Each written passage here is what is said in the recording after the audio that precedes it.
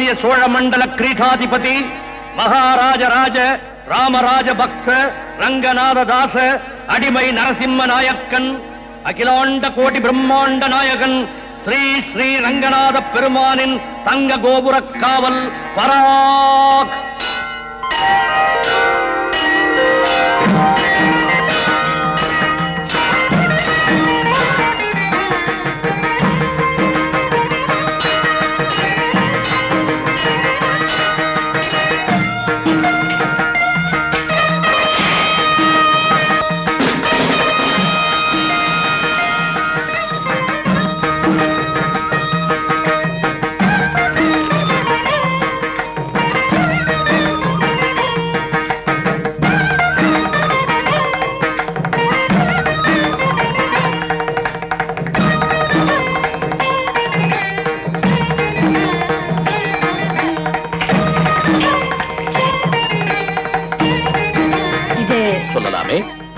தங்க கோபுர காவலுக்கு தாங்களே தான் செல்ல வேண்டுமா? அதுதான் நாயக்கர் குல சம்பிரதாயம். என்னதான் சம்பிரதாயம் இருந்தாலும் கொட்டும் மழையிலும் கொடூரமான பனியிலும் அமாவாசை தவறாமல் விடிய விடிய தாங்கள் காவல் புரிந்து களைத்து வருவதை காணும் பொழுது உனக்கு கஷ்டமாகத்தான் இருக்கும். தங்கள் பிரதிநிதியாக வேறு யாரையாவது? தாயே தங்க கோபுர காவலின் தாத்பரியத்தை புரிந்து கொண்டிருந்தால் நீ என்னிடத்தில் இந்த கேள்வியை கேட்டிருக்கவே மாட்டாய். நல்ல வேளை இப்பொழுதாவது கேட்டாயே நன்றாக சொல்லுகிறேன் அழகாக புரிந்து கொள்ளமா நம் நாயக்கர் வம்ச பழக்கப்படி மணிமுடி சூடி அரியாசனத்தில் அமர்வதால் மட்டும் ஒருவன் மன்னனாகிவிட முடியாது. ஆனால் அந்த தங்க வாளை கையிலேந்தி அமாவாசை என்று ஒரு கணம் அந்த தங்க கோபுரத்தை காத்து விட்டால் போதும் மறுகணமே மன்னனாகி விடுவான் அது அவ்வளவு பெரிய விஷயமா? ஆமாம். இப்பொழுது சொல் என் பிரதிநிதியாக இளவரசனின் சிற்றப்பன் உன் கணவனை அனுப்பி வைப்போமா? வேண்டாம் வேண்டாம். இந்த ஒரு விஷயத்தில் மட்டும் தங்களையே எதிர்க்கும் துணிச்சல் எனக்கே வந்து விடுகிறது. பல்லாண்டு பல்லாண்டு. பல கோடி நூறாண்டுகளுக்கு தங்க கோபுரத்தை தாங்களே தான் காவல் புரிய வேண்டும். அம்மா அத்தனை காலமும் நானே ஆண்டு கொண்டிருக்க வேண்டும் என்ற எண்ணத்தில் இந்த புனிதமான கைங்கரியத்தை நான் செய்யவில்லை.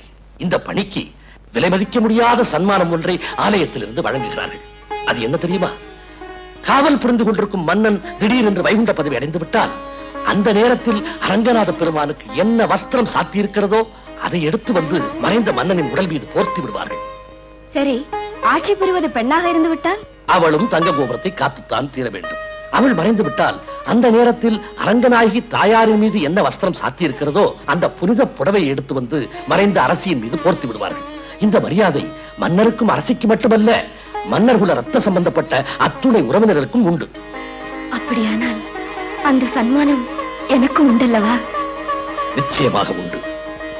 ஆனால் அந்த புனித ஆடை உனக்கு கிடைக்கும் மாபெரும் பாக்கியத்தை என் கண்ணால் காணும் துர்பாக்கியம் எனக்கு வாய்க்கக்கூடாது என்பதுதான் என்னுடைய மிகப்பெரிய பிரார்த்தனை.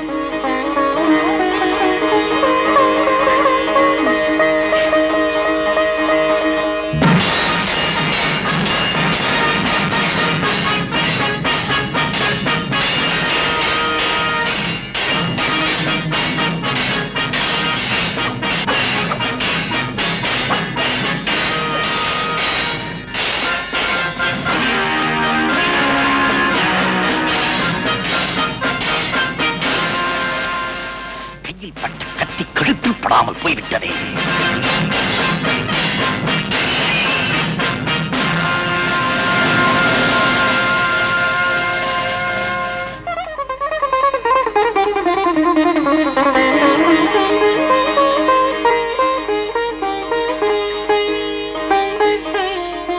குமாரா உனக்கு அந்த வாழ்விச்சும் போர் பயிற்சியும்? என்ன பார்க்கிறாய்? போர் பயிற்சி கூட இல்லாத ஓர் இளவரசன் வருங்காலத்தில் பூமியை ஆள முடியுமா? வருங்காலத்தில் தற்காலத்தில் ஆட்சி செய்து கொண்டிருக்கும். இவர் தந்தைக்கே போரை பற்றி சிந்தனை இல்லாதிருக்கும் போது அதனால் என்ன? அந்த சிந்தனை மன்னரின் தங்கத்தம்பியாகிய தங்களுக்கு இருக்கிறதே. அது போதாதா? நீ என் மனைவிதானா? நீங்கள் மன்னரின் தம்பிதானா? குமாரா குமாரா, நீ ஏன் சிரிக்கிறாய். இல்லை நீங்களும் சின்னம்மாவும் சதா சண்டையிட்டுக் கொள்வதைத்தான் பார்க்கிறேனே தவிர நீங்கள் இருவரும் சந்தோஷமாக இருப்பதை பார்க்க கொடுத்து வைக்கவில்லையே. அந்த விரக்தியில் ஏற்பட்ட சிரிப்பு தான் இது. அதற்கு காரணம் இவன் இருக்கிறாரே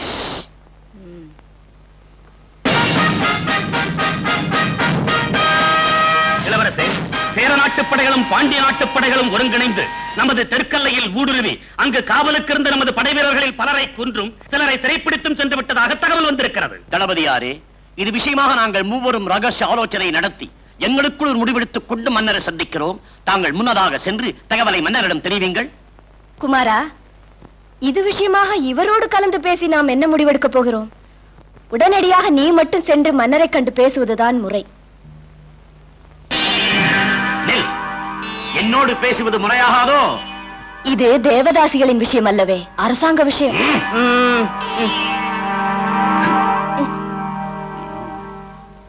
சேரனும் பாண்டியனும் வழக்கமாக நம்மை வலுச்சண்டை கிழக்க கையாளும் வழிமுறைகளில் இதுவும் ஒன்றுதானே? இதை நாம் பெரிதுபடுத்திக் கொள்ள வேண்டுமா? மன்னிக்க வேண்டும். இதற்கு மேலும் நாம் நடவடிக்கை எடுக்காவிட்டால் எதிரிகள் நம்மை ஏளனமாக நினைப்பதோடு எத்தகைய பெரும் தாக்குதலுக்கும் அவர்கள் தயாராகி விடுவார்கள். இளவரசரின் கருத்தை நான் அப்படியே ஏற்றுக்கொள்கிறேன். என்னுடைய கருத்தும் அதுதான். காலம் கடத்தாமல் நமது தளபதி அவர்கள் படங்கெடுத்து செல்வதுதான் நல்லது. அமைச்சர் அவர்களே தங்களுக்கு தெரியாததல்ல. நடப்பது சின்னஞ்சிறு எல்லை தகராறு. இதை சமாளிக்க நாட்டின் பிரதம தளபதியே படை நடத்தி சென்றால் பகைவர்கள் நம் வீரத்தை பற்றி என்ன நினைப்பார்கள்? இது கேள்விக்குரிய விஷயம்தான். அப்படியானால் வேறு யாரை? தளபதி அவர்களுக்கு தடை இல்லை என்றால் நானே தலைமையேற்றுச் செல்கிறேன். ஆணையிடுங்கள். இது கொடுமை. இந்த அரசுக்கு மட்டுமல்ல அரச குடும்பத்துக்கும் ஒரே வாரிசான இளவரசனை கன்னி போர்வை வலுகொடிக்க முடிவு செய்து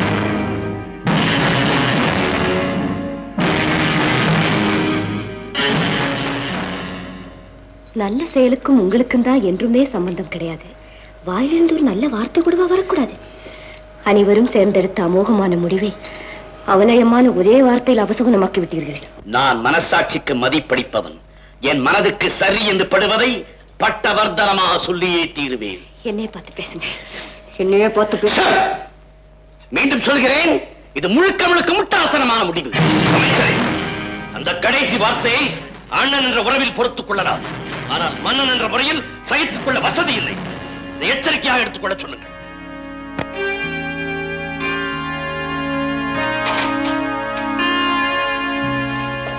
இது என்ன? சற்று முன் நடந்த தவறுக்காக என்னை மன்னித்து அருள வேண்டும். என்ன நடந்தது? இளவரசன் போருக்கு செல்வதை பற்றி சொல்லக்கூடாத வார்த்தையை என் கணவர் சொன்னதை கேட்டவுடன் உணர்ச்சி வசப்பட்டு தாங்கள் இருப்பதையும் மறந்து நான் தலையிட்டு பேசியது தவறு தானே நீயாக பேசியிருந்தால் அது தவறுதான். ஆனால் அந்த கட்டத்தில் உன்னை பேச வைத்தது இளவரசன் உயிர் மேல் நீ வைத்திருக்கும் பாசம் அல்லவா?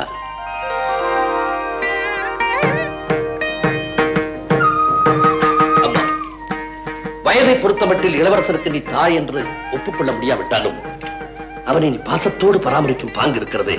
அதை பார்க்கும் பொழுது அவனுக்கு நீ சிற்றனை மட்டுமல்ல பெற்ற அன்னை என்று கூட சத்தியம் செய்ய நான் தயாராக இருக்கிறேன். இளவரசன் எல்லை போருக்கு சென்றிருக்கிறான்.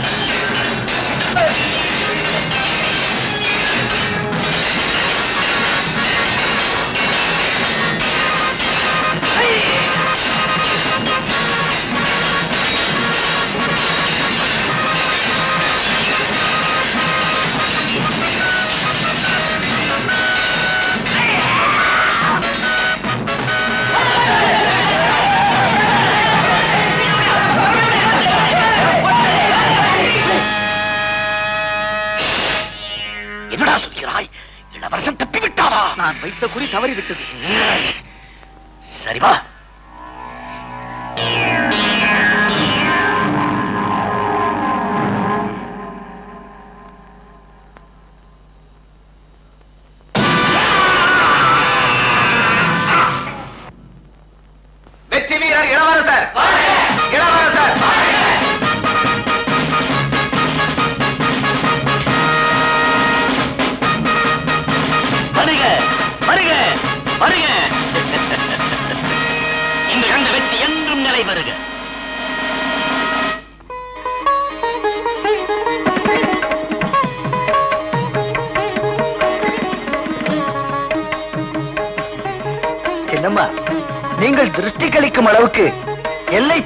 நான் எந்த தீரச் செயலும் புரியவில்லையே.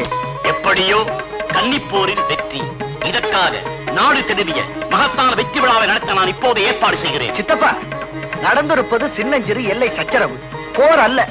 இதற்கெல்லாம் விழா கொண்டாடி கொண்டிருந்தால் போரை பற்றி நமக்கு எதுவுமே தெரியாதென்று எதிரிகள் முடிவெடுத்து விடுவார்கள். அது மட்டுமல்ல நம் வீரத்தை பற்றி எள்ளி நகையாடுவார்கள். நான் சித்தப்பன். என் திருப்திக்காக நடத்தத்தான் போகிறேன். ஏறா என் பின்னாலே வருகிறீர்கள். விழாவுக்கான ஏற்பாடுகள் விரைந்து செய்யுங்கள் பொங்கல் இளவரசர் தான் விழாவே வேண்டாம் என்கிறாரு. வேண்டாம் என்றால் அவனை விட்டு விடுவதா மன்னருக்கு பிறகு நான் மன்னனாக வர வேண்டும் என்று துடித்துக் கொண்டிருக்கிறேன். அதற்கு இடையூறாக இருக்கும் இளவரசன் இலை போல் தீர்த்து கட்ட ஏற்பாடு செய்தேன். எப்படியோ தப்பி விட்டான் நீ அந்த காரியத்தை கண்ணீரை கொண்டு சாதித்து காட்டுகிறேன். போய் அழைத்து வாருங்கள் தேவதாசிகளை. என்னடா புலம்பல்? மன்னிக்க வேண்டும் பிரபு. நம் தேவதாசிகளில் ஒருத்தையை கூட கன்னிப்பெண்ணாக தாங்கள் விட்டு வைக்கவில்லையே.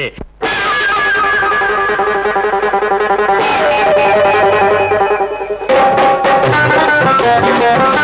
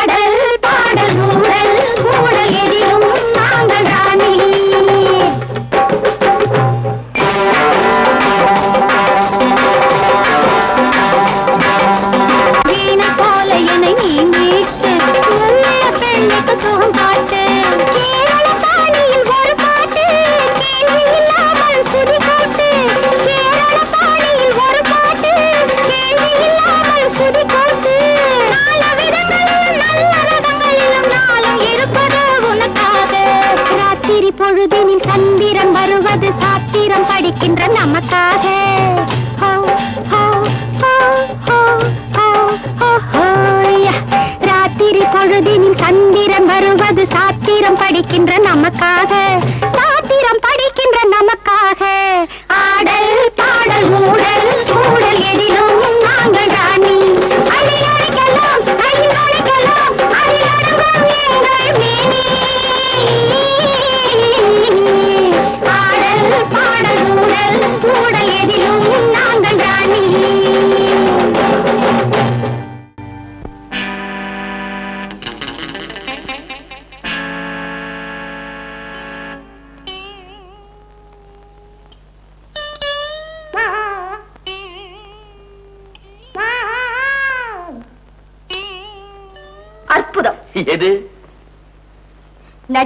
செய்தீர்களே. அது. போகட்டும். இங்கு நடப்பது என்ன? விழா. எதற்கு? யாருக்காக? விழா இளவரசனுக்கு. உண்மையை ஒப்புக்கொண்டு விட்டீர்களே. எந்த உண்மையை? விழா இளவரசன் என்ற உண்மையை. அப்படி என்றால்? அப்படி என்றால் நீங்கள் தோண்டி இருக்கும் படுகொழி எதிலுமே விழா இளவரசன் என்ற உண்மை நீ அதிகமாக பேசுகிறாய். நில்லுங்கள். சித்தப்பாவா நீங்கள்? கேவலம் காசுக்காக உடலை விற்கிறார்களே. அந்த தாசி தொழிலுக்கு துணை புரியும் மாமாக்களை விட கேவலமாக நடந்து கொள்கிறீர்களே. தாங்கள் சென்ற மறுகணமே அவரும் போய்விட்டார். போய்விட்டார்.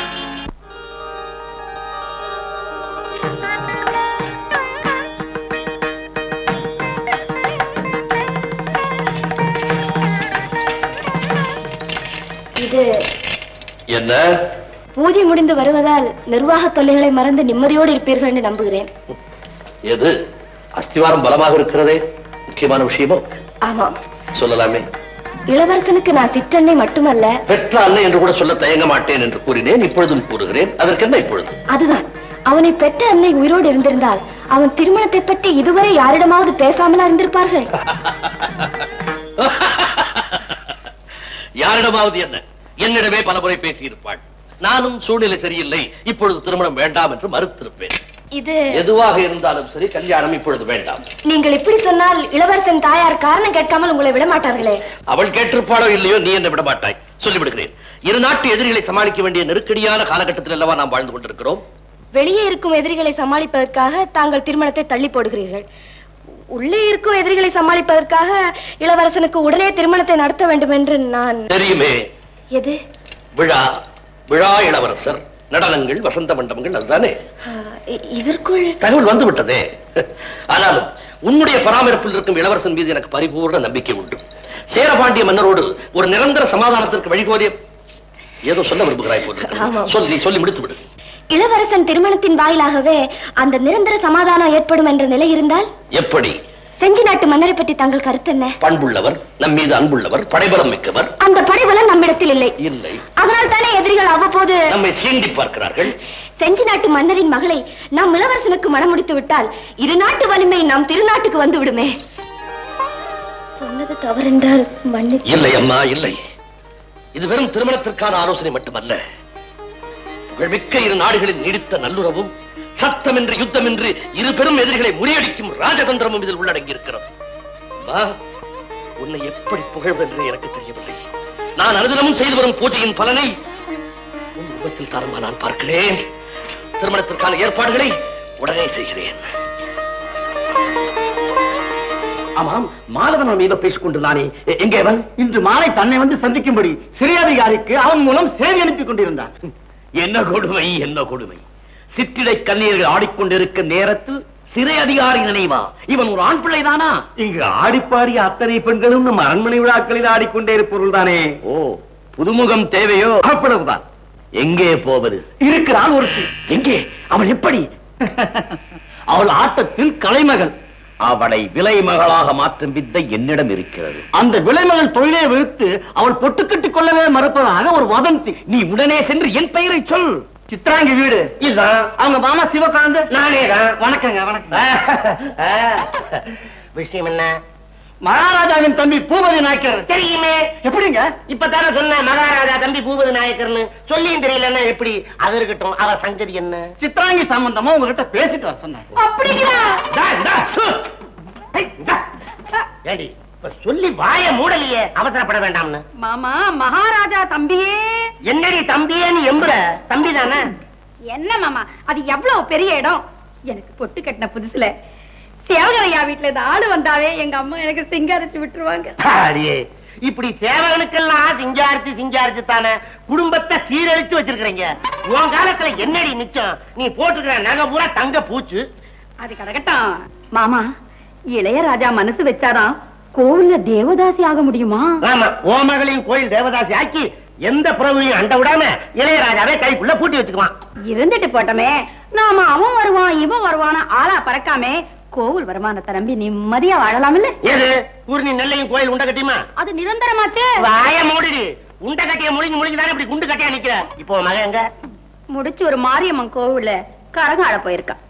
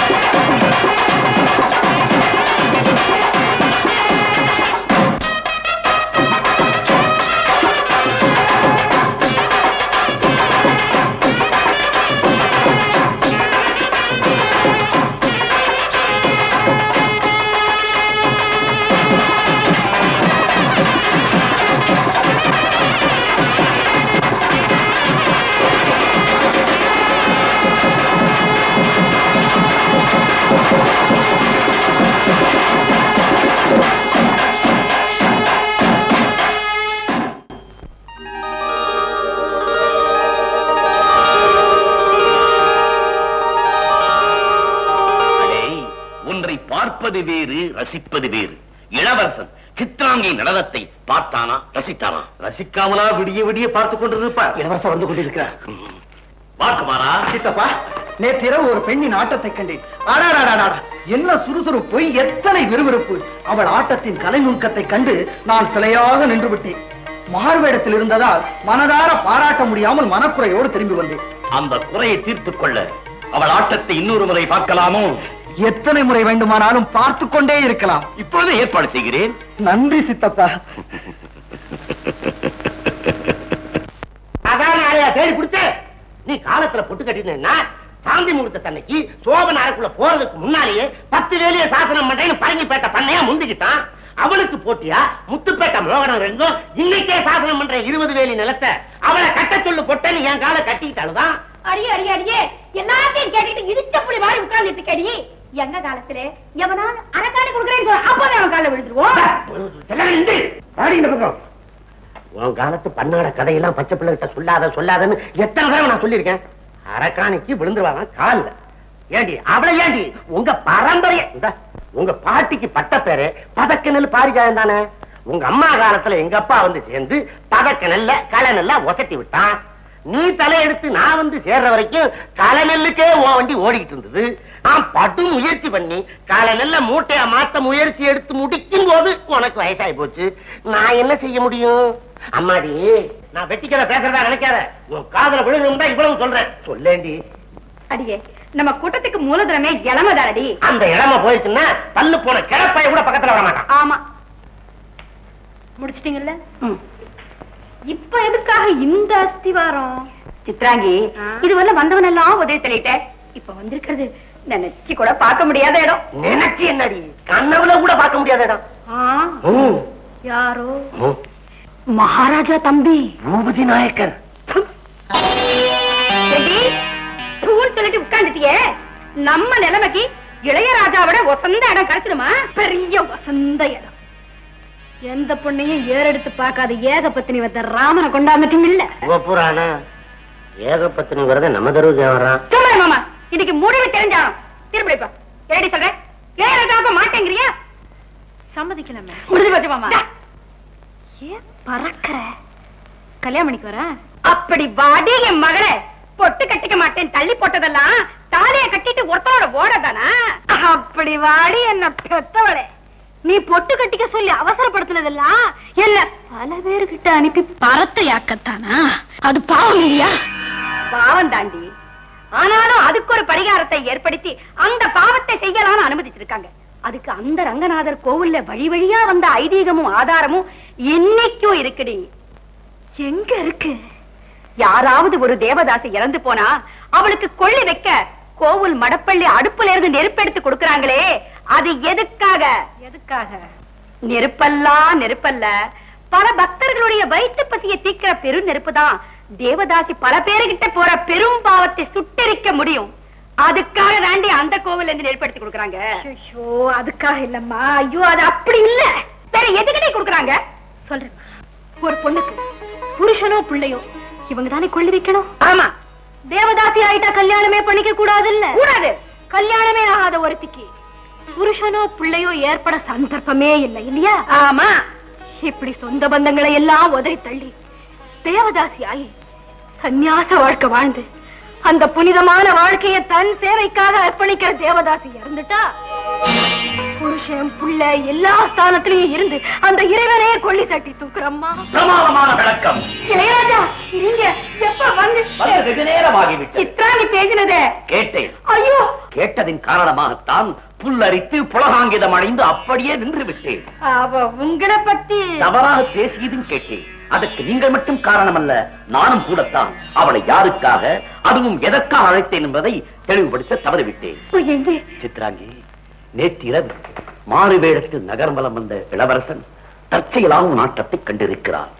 மறுபடியும் உடனே பார்க்க வேண்டும் என்பதற்காக என் தயவை நாடுகிறான் என்றால் உன் கரகாட்டம் இளவரசன் மனதை எவ்வளவு தூரம் சுண்டி இழுத்திருக்க வேண்டும் என்பதற்கு நான் வேறு விளக்கம் கொடுக்க வேண்டுமா? மறுபடியும் ஆடலாம் அல்லவா தாராளமாக. என்னவென்று சொல்வேனடி?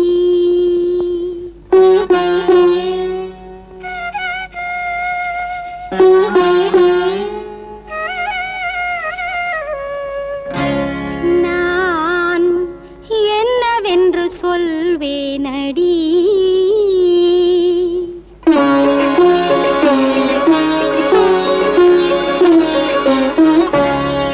பஞ்சனையில் வந்தொருவன் பார்வையிலே தந்த சுகம் என்னவென்று சொல்வேனடி.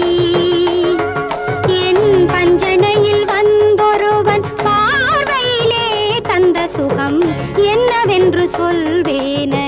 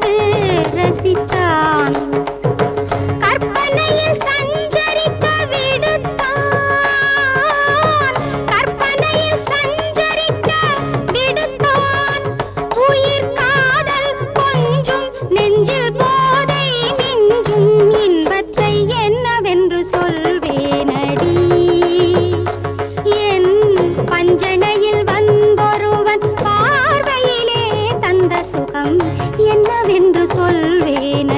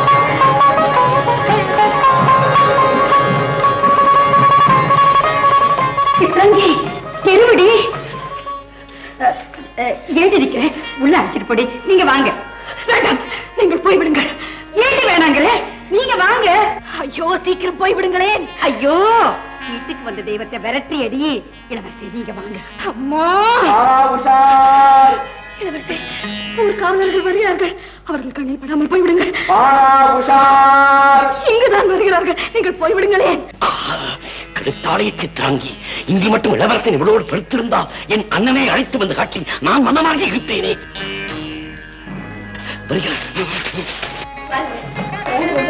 அப்படி ஒன்றும் நல்ல காரியத்துக்காக. ரொம்ப ரொம்ப நல்ல காரியமாயிட்டு ஓஹோ. என்ன அமைச்சரே? சென்ற காரியம் வெற்றிதானா? அது எப்படி தங்களுக்கு? உன்னுடைய முகமலர்ச்சியே காட்டிக் கொடுக்கிறதேம்மா மன்னா இது விஷயமாக தாங்கள் என்னை இப்பொழுது அங்கு அனுப்பிடாவிட்டால் திருமணத்தை பற்றி பேச செஞ்சி மன்னரே இங்கு வந்திருப்பார். அப்படியா? ஆமா. நட்பை பலப்படுத்த நாம் அனைவரும் செஞ்சிக்கு சென்றிருந்த பொழுது செஞ்சி இளவரசியும் நம் இளவரசரும் ஒருவரை ஒருவர் சந்தித்து பார்த்து இதற்கு நிறுத்தாங்களே நம் இளவரசரைத்தான் மணப்பேன் என்று இளவரசி பிடிவாதமாக இருக்கிறார்களாம். மெத்த மகிழ்ச்சி. அமைச்சரே ஒரு நல்ல நாள் பார்த்து ஜோதிடரை வரவழைத்து நல்ல நாளை பார்ப்பதற்கே ஒரு நல்ல நாள் பார்க்க வேண்டும் என்ற சாஸ்திரம் இருக்கிறதோ? தெரிந்து கொள்ளலாம் என்று கேட்டேன். அவசர தேவதே உன்னை யாரால் சமாதானப்படுத்த முடியும்? அமைச்சரே உடனே ஜோதிடரை வரவழைக்க ஏற்பாடு செய்யுங்கள். அவ்வளவுதானே. வாழ்க. வளமும் நலமும் பெற்று வற்றாத சுகத்துடன் வாழ்க. என்ன சித்தப்பா திடீர் வாழ்த்துக்கள்? உனக்கு மனைவியாகும் பாக்கியத்தை செஞ்சி இளவரசி பெற்றதற்காக. இது யார் எடுத்த முடிவு? யார் எடுக்க முடியும் உன் தந்தையை தவிர? தந்தையை பார்ப்பதற்கு எதற்கு? என் முடிவை அறிவிப்பதற்கு. என்ன முடிவு? என் உயிரோடு ஒன்றிவிட்ட சித்தராங்கியைத்தான் மணப்பேன். சித்தப்பனாக நானே இதை எதிர்க்கிறேன்! பெற்றப்பனாகிய அவரே எதிர்த்தாலும் நான் அசைந்து கொடுக்க போவதில்லை. எதிர்ப்பை விடு. மறுப்பு வந்து விட்டாலோ? யாரிடமிருந்து? சித்ராங்கிடமிருந்தே மறுக்க மாட்டாள் சித்தப்பா. மறுப்பாளோ வெறுப்பாளோ அவள் கருத்தை சரிவர தெரிந்து கொண்டு உன் முடிவை தந்தையிடம் சொல்வதுதான் நல்லது. சித்தப்பா! என்ன? சித்தப்பா உங்களிடம் என் உள்ளத்தை திறந்து சொல்கிறேன். சித்தராங்கிற்காகவும் அவளை இழக்க நான் தயாராக இல்லை. குமாரா துவக்கத்தில் எதிர்ப்பை தெரிவித்தனால் உன் துயரத்தை கட்ட பிறகு உனக்கு துணைக்க துணிந்து விட்டேன். சித்தப்பா, நீங்கள் சொன்னபடியே நீங்களே சித்ராங்கியிடம் சென்று பேசி அதுதான் கூடாது. வெறும் பேச்சால் முடிவெடுக்க வேண்டிய விஷயமாயது. இதயங்கள் உரசி இரு கண்கள் பேசி அதற்கு பின் வார்த்தைகளால் அலசி முடிவெடுக்க வேண்டிய விஷயம். அதற்கான ஒரு சந்திப்பிற்கு இன்றைய நான் ஏற்பாடு செய்கிறேன். நன்றி சித்தப்பா நன்றி. இளவரசன் உன் வலையில் விழுந்து விட்டான் என்று சொல்வதை விட இளவரசன் உனக்குத்தான் என்று பிரம்மதேவன் உன் தலையில் எழுதி விட்டார் என்று சொல்வதே பொருத்தமாக இருக்கும்.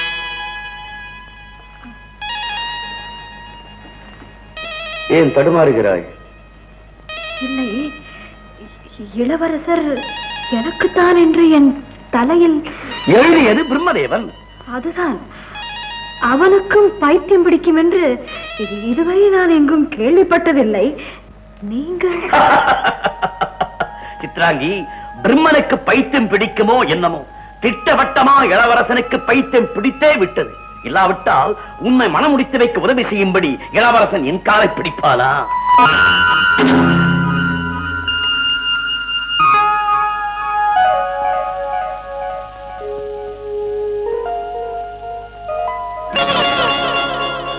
என்ன சித்ராங்கி?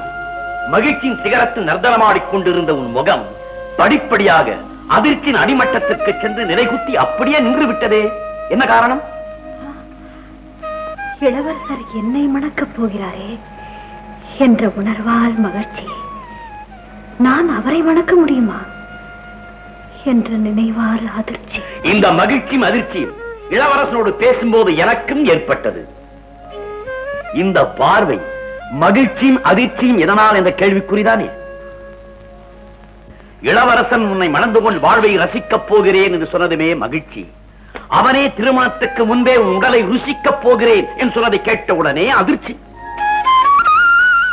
இதில் அதிர்ச்சி அடைய என்ன இருக்கிறது? அப்படி என்றால் சம்மதம் என்கிறாயா? என்ன தவறு? ரசிப்பதோ ருசிப்பதோ என்னை மணக்கப் போகும் அவர் ஒருவர் தானே? எதுவாக இருந்தாலும் உங்கள் இருவரோடு நின்று விட்டால் எனக்கும் அதிர்ச்சி ஏற்பட்டு இருக்காது இதற்கிடையில் செங்கி நாட்டு இளவரசி இளவரசனுக்கு மனம் முடித்து வைக்க திட்டம் முழு வேகத்துடன் உருவாகிக் கொண்டிருக்கிறது. இதிலும் அதிர்ச்சி அடைய ஒன்றும் இல்லையே இதிலும் ஒன்றுமில்லையா? ம், ஒரு இளவரசன் இளவரசியை மணப்பது நடக்க முடியாத அல்லது நடக்கக்கூடாத அதிசயமோ அநியாயமோ அல்லவே. சிந்தித்து பா சித்ராங்கி.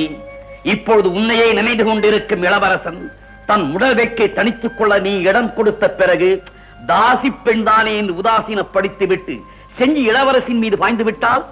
ஆ, அதிர்ச்சி ஏற்படக்கூடிய அருமையான கட்டமே இதுதான். அந்த நம்பிக்கை மோசடி நடவாமல் இருக்க என்ன செய்ய வேண்டும்? முதலில் இளவரசனிடம் வாக்குறுதி பெற்றுவிட வேண்டும். எப்படி? கவனி ஈருடலும் ஓருடலாய் இருகப் பிணைந்து இருவருமே தங்களை மறந்து புரிகிறதா?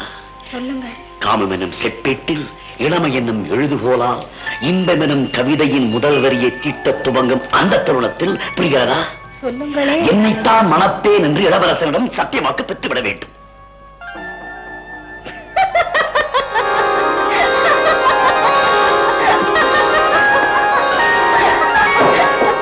ஏன் இப்படி ஏளனத்துடன் சிரிக்கிறாய்? இல்லை. அடுக்கிக் கொண்டே போனீர்களே. வாக்குறுதி பெறும் அந்த சந்தர்ப்பத்தை. அந்த நேரத்தில் கொடுக்கும் வாக்கு எந்த நேரத்திலாவது நினைவுக்காவது வருமா? கேள்விப்பட்டிருக்கிறேன். குடிகாரன் பேச்சாவது பொழுது விடிந்தால்தான் போச்சென்று சொல்வார்கள்.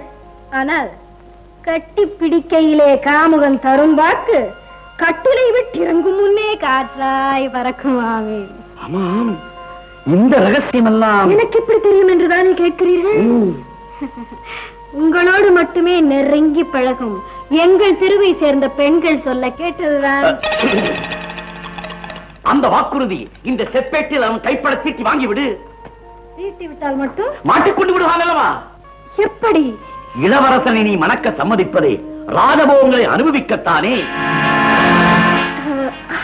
அவன் உன்னை மணக்காவிட்டாலும் இந்த செப்பேடு மட்டும் உன் கையில் இருக்கும் வரை அத்தனை ராஜபோகங்களும் தானாக உன்னை தேடி வரும். அதற்கு நான் ஏற்பாடு செய்கிறேன்.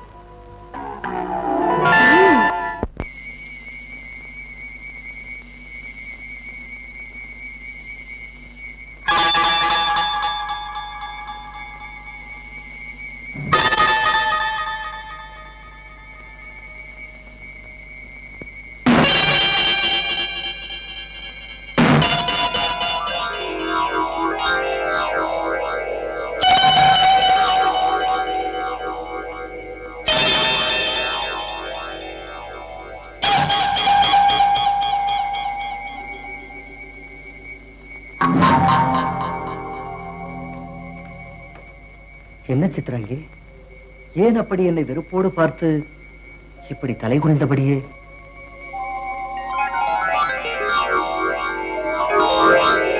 சித்ராங்கி இதை பற்றி எனக்கு எதுவுமே தெரியாது. இப்பொழுதுதான் நானே பார்க்கிறேன். புறப்படுங்கள்.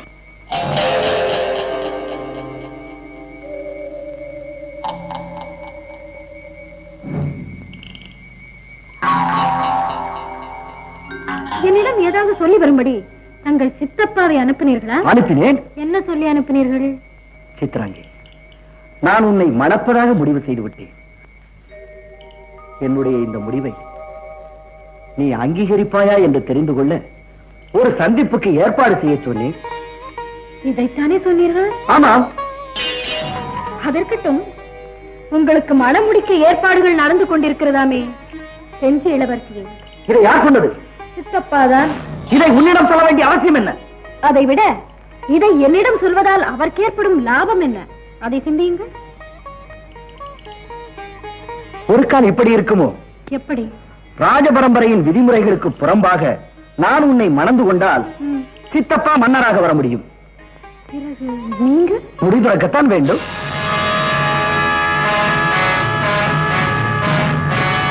என்ன சித்ராங்கி ஏன் இப்படி அசந்து நின்று விட்டாய்.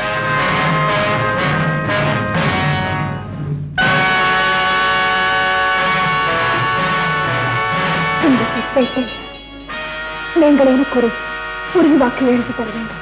சொன்னால் போராதா? எழுதியே தர வேண்டும். என்னவென்று சோழ நாட்டின் அதிபதி நரசிம்ம நாயக்கரின் ஒரே மகனாகிய நான் மணந்து கொள்ளப் போவது சித்ராங்கி என்றுதானே? செஞ்சி நாட்டு இளவரசியைத்தான் என்று. சித்ராங்கி! நீங்கள் மொழி துறப்பதை நான் விரும்பவில்லை. இல்லாத வாழ்வை என்னால் நினைத்து கூட பார்க்க முடியவில்லை. நீங்கள் இந்த முடிவுக்கு வருவீர்கள் என்று எனக்கு முன்னமே தெரிந்திருந்தால். தெரிந்திருந்தால்? உங்கள் மனதில் நான் இடம் பெற இவ்வளவு தூரம் விட்டிருக்க மாட்டேன். என்னை மறந்து விடுங்கள். இதுதான் உன் முடிவா? முடிவாக கேட்கிறேன். இதுதான் உன் முடிவா? ஆமாம்.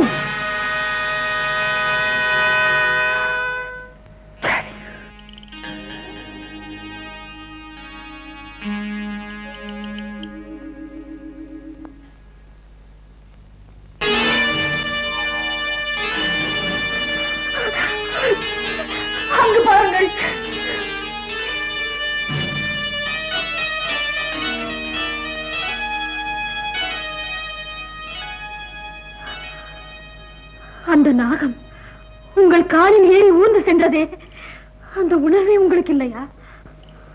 உயிருள்ள உடலுக்குத்தான் அம்மா உணர்வுகள் தெரியும். சொன்னாயே ஒரு வார்த்தை மறந்து விடுங்கள் என்று. அதை கேட்டவுடன் என் உணர்வுகள் அத்தனையும் மறத்து விட்டது.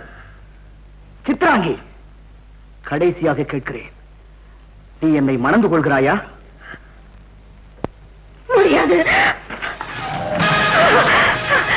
கையை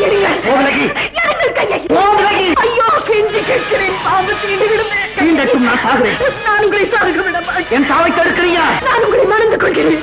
சத்தியமா? சத்தியமாக. சத்தியமாக.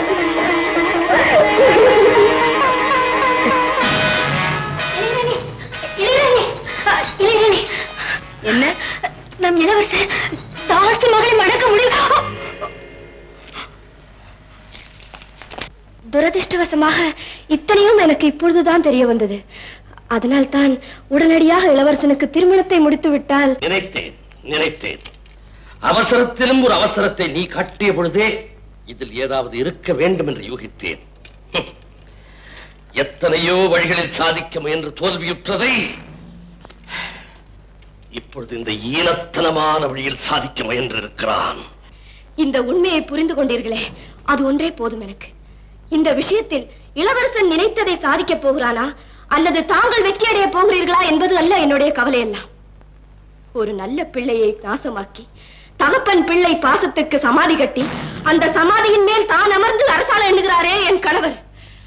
அந்த பேராசைக்காரரின் சதி திட்டத்தில் பேரடி விழுந்து நிர்மூலமாக வேண்டும். இதுதான் என் பிரார்த்தனை.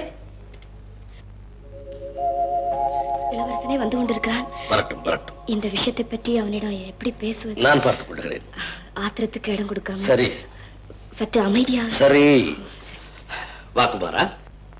வா. ஒரு முக்கியமான பணியினை நிறைவேற்ற நானே உன்னை அழைக்கலாம் என்று எண்ணினேன். அதற்குள் நீயே வந்து விட்டாய். இதுவே நல்ல சகுனம்தான். அப்படி என்ன காரியம்? ஜெயங்கொண்டம் அதை சுற்றியுள்ள கிராமங்களில் வெள்ளப்பெருக்கெடுத்து மக்கள் அவதியுறுகிறார்கள் என்று செய்தி வந்தது. உடனே நிவாரணப் பணிகளை மேற்கொள்ள சொன்னேன்.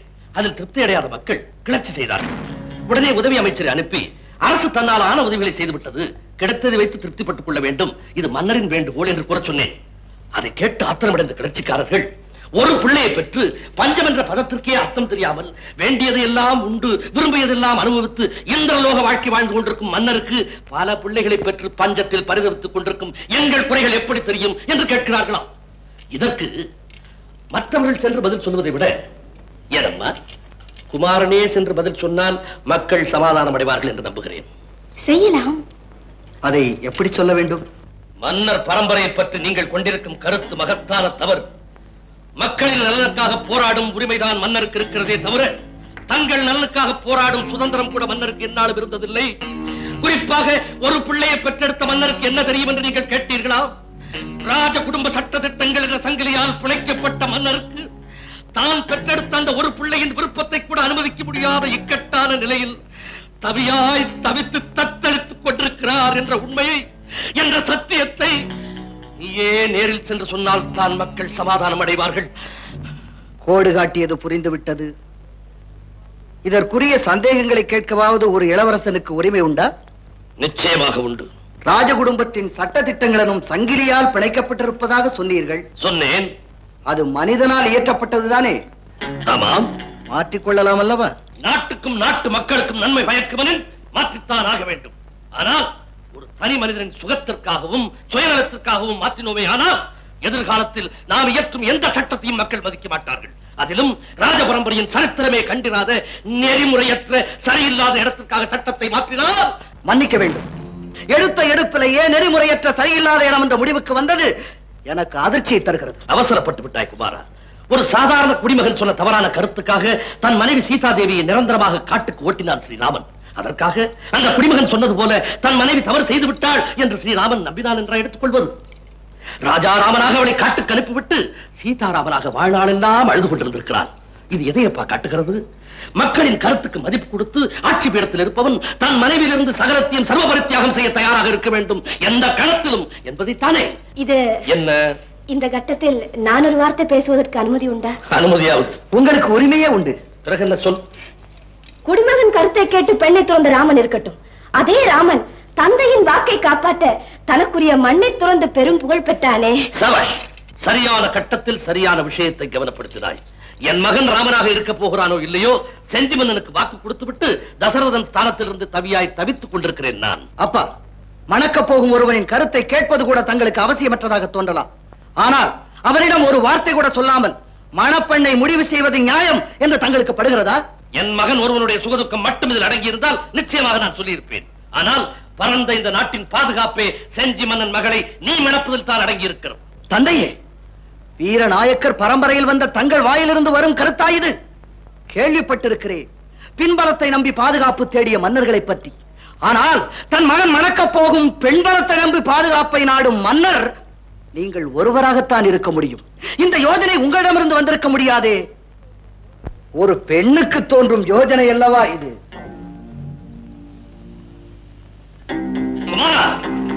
என்னை பார். என் முகத்தை பார். முடிவாக கேட்கிறேன்.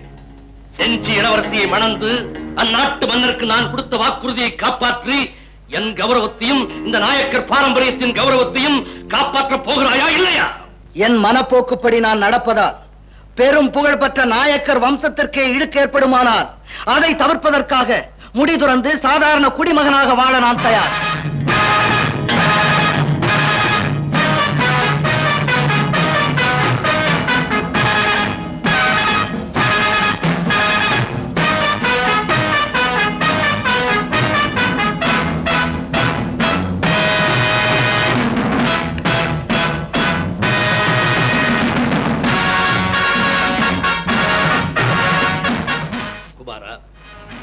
எந்த பெண்ணுக்காக முடிதிறக்க துணிந்தாயோ அந்த பெண்ணே தன் வாயால் உன்னை மணக்க விருப்பமில்லை என்று சொல்லிவிட்டால். கதிரவன் மேற்கு திசையில் கூட உதித்து விடலாம். ஆனால் இந்த கருத்து அவள் மனதில் கூட உதிக்காது. சொல்ல வைத்து விட்டான். பிறகு அவள் யாரோ? நான் யாரோ?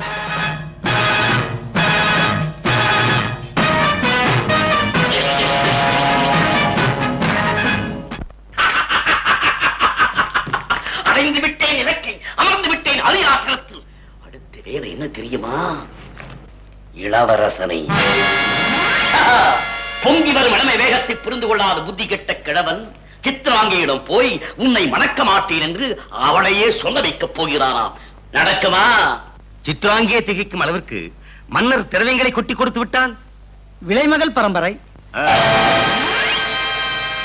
இது விஷயத்தில் நான் மிகவும் எச்சரிக்கையோடு இருக்க வேண்டும்.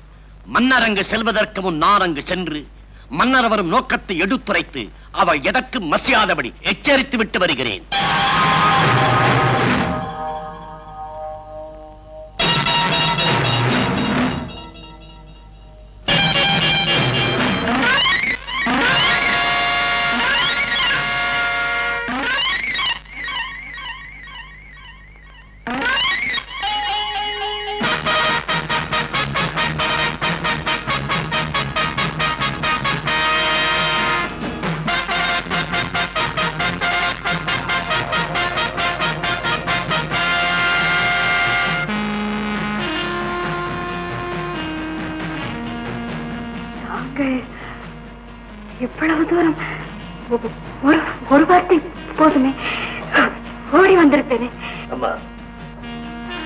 அதிகார தோரணையை காட்டி ஆணையிட வேண்டிய சூழ்நிலை ஏற்பட்டிருந்தால் உன்னை அரண்மனைக்கே வரவழைத்திருப்பேன்.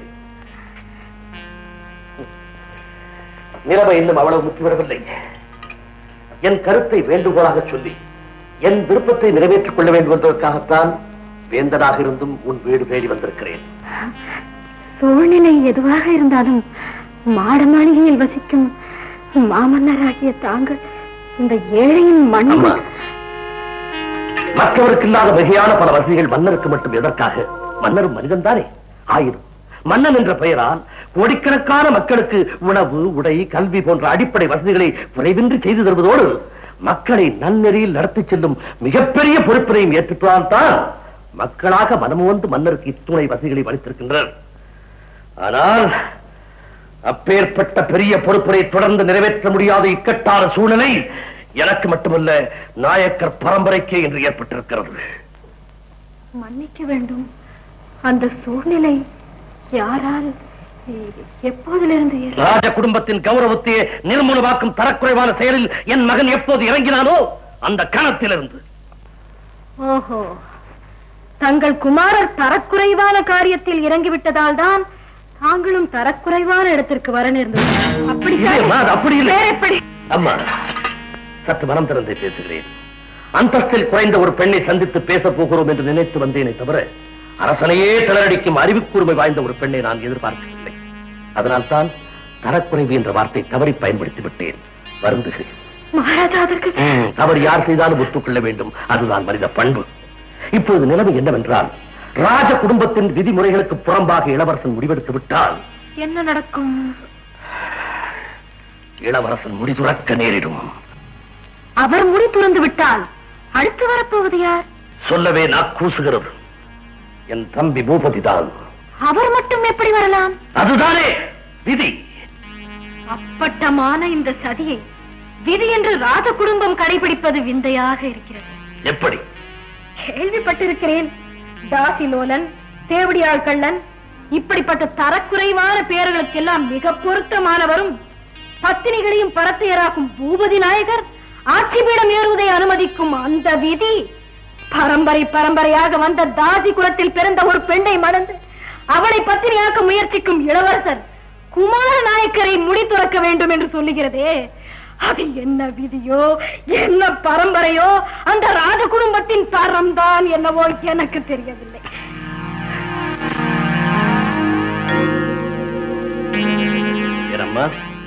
இளவரசன் முடி துறக்கத்தான் வேண்டுமா? அவர் முடி துறக்காமல் இருக்க நான் என்ன செய்ய முடியும்? இது பற்றி நான் அவனிடம் எவ்வளவோ பேசி பார்த்தேன்.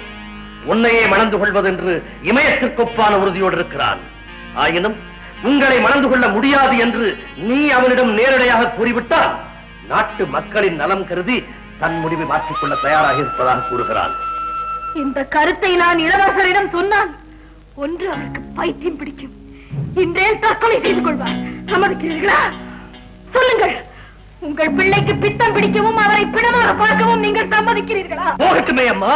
புதுநலத்தை புறக்கணித்து சுயநலத்தையே பெரிதாக நினைக்கும் பிள்ளை செத்து துறையட்டுமே விவஸ்தையற்ற ராஜ குடும்பத்தின் விதிமுறைகளை பெரிதாக மதிக்கும் நீங்கள் உங்கள் பிள்ளையை இழக்க தயாராக இருக்கலாம். வழி வழியாக வந்த தாசி குல பெண்ணை மணந்து அவளுக்கு வாழ்வு கொடுக்க துணிந்து வந்திருக்கிறாரே. அந்த மனித உருக்கொண்ட தெய்வத்தை இழக்க நான் தயாராக இல்லை. நான் இதை அவரிடம் சொல்லவே மாட்டேன்.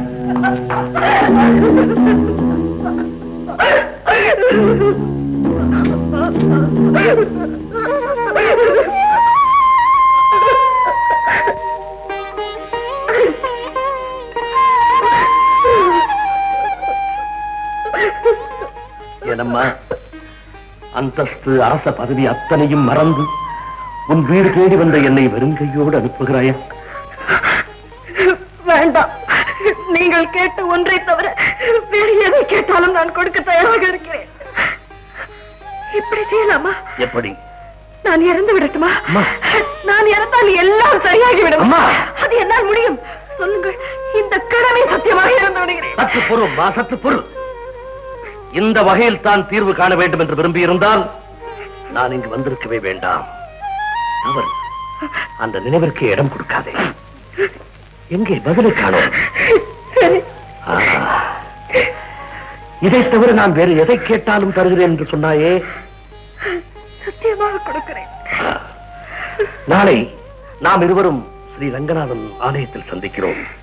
உனக்கும் தெய்வ பக்தி உண்டு என்பது எனக்கு தெரியும். அந்த சன்னிதானத்தில் நான் கேட்கப் போவதை நீ மறுக்காமல் தருவாய் என்ற நம்பிக்கையோடு நான் போய் வருகிறேன்.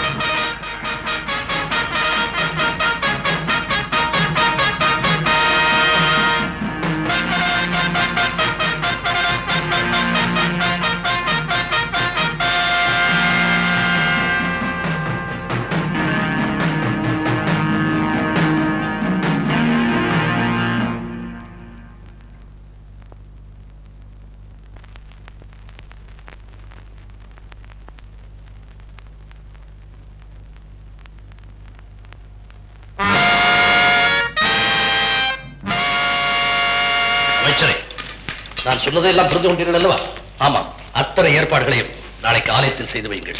ரகசியமாக இருக்கட்டும். உத்தரவு. இளவரசன் உன்னை மணக்க விரும்புகிறான் என்ற செய்தியை கேட்டவுடன் விலைமகளுக்குரிய குணத்தால் வேந்தர் மகனை வீணாக்கி விட்டாயோ என்று உன் மீது எனக்கு வெறுப்பு ஏற்பட்டதம்மா. அம்மா! கேளம்மா.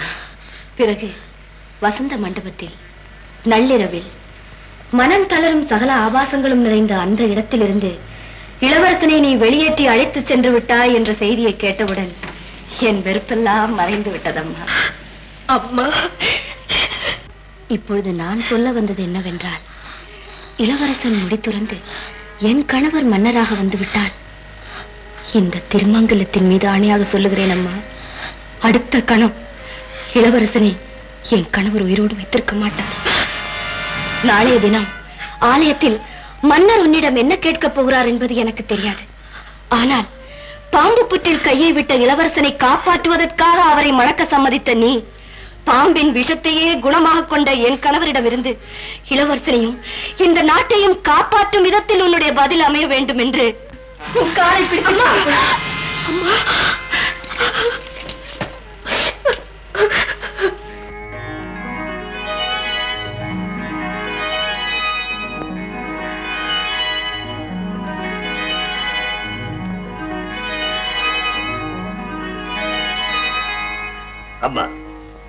பிரமிக்கத்தக்க இந்த பிரம்மாண்டமான ஆலயத்தின் தலையாய சன்னதி ஸ்ரீ ரங்கநாத பெருமானுடையதானே?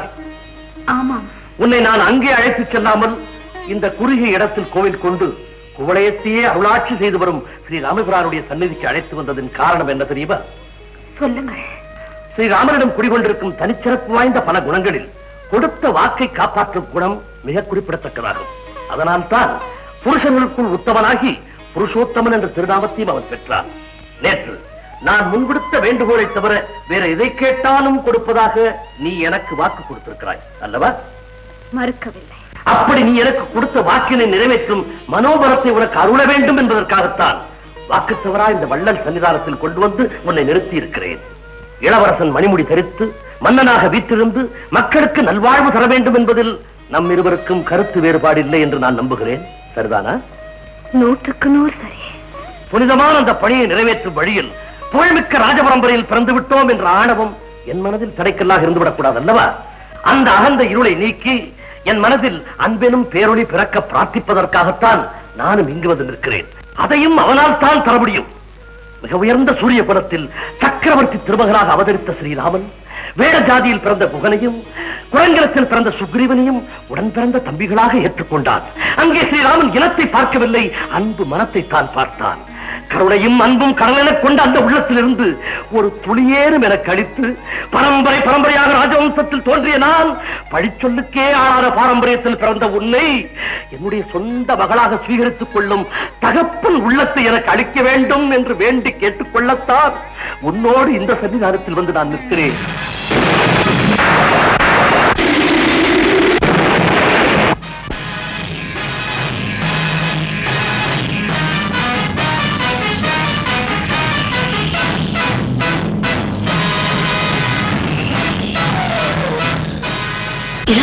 இளவரசன் துறந்து என் கணவர் மன்னராக வந்து விட்டார் இந்த திருமங்கலத்தின் மீது ஆணையாக சொல்லுகிறேன் அம்மா.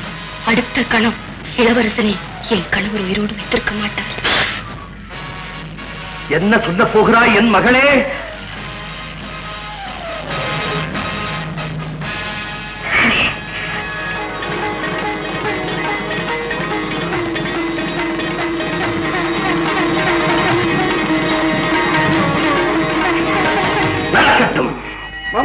समस्तम् नाम् सर्वासङ्कारणम् कृताम् हरिराम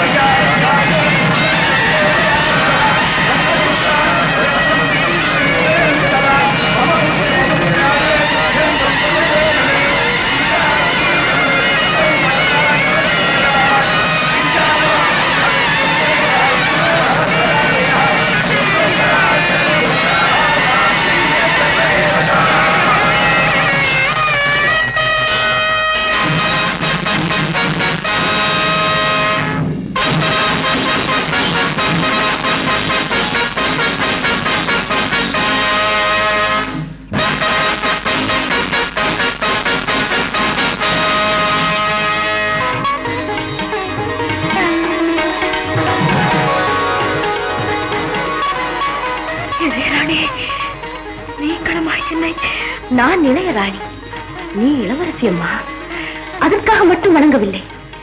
மகாராஜா மருமகளாக வந்து வம்சத்தையே அழித்து விடுவாயோ என்று பயந்தேன். மன்னரின் திருமகளாக வந்து நாட்டையே காப்பாற்றி விட்டாயே அம்மா. அதற்காக மறுபடியும் அம்மா! நீங்கள் போகலாம்.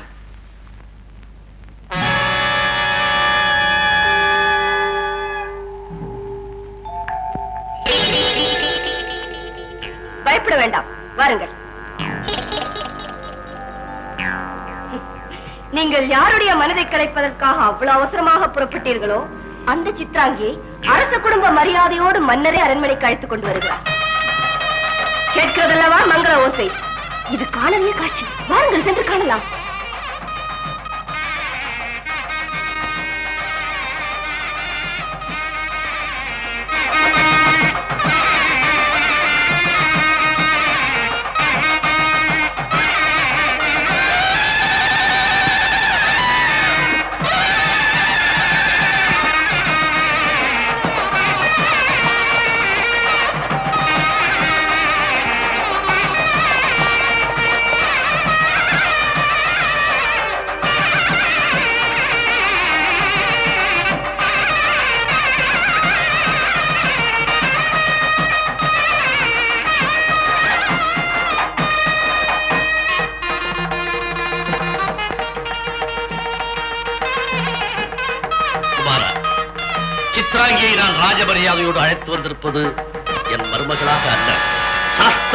ஸ்வீகாரம் எடுத்து என் திருமகளாக அழைத்து வந்திருக்கிறேன்.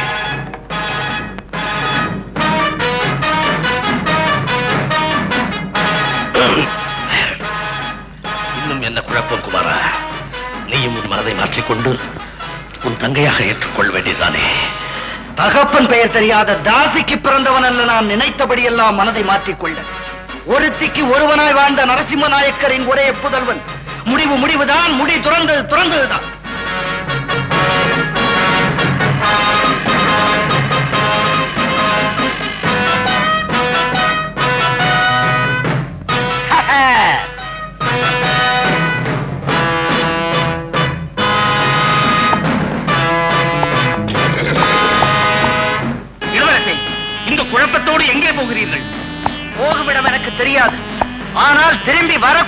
இது அல்ல.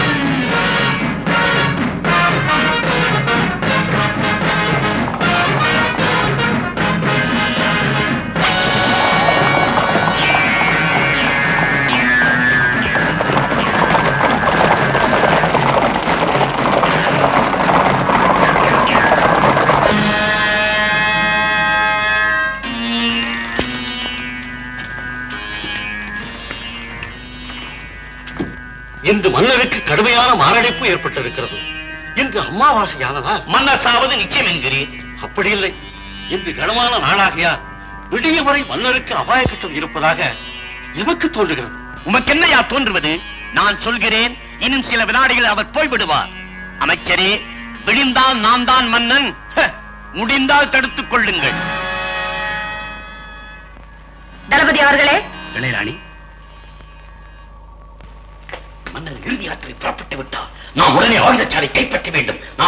செல்கிறேன் நீங்கள் நம் குண்டர்களுடன் அங்கே வந்து சேர்ங்கள். தளபதி அவர்களே அவர் என்ன வேண்டுமானால் செய்யட்டும். நீங்கள் அவரை தொடர்ந்து சென்று கொஞ்ச நேரத்திற்கு அவரை இந்த பக்கம் வரவிடாமல் தடுத்து நிறுத்துங்கள். அதற்குள் நான் என்னால் ஆனதை பார்க்கிறேன்.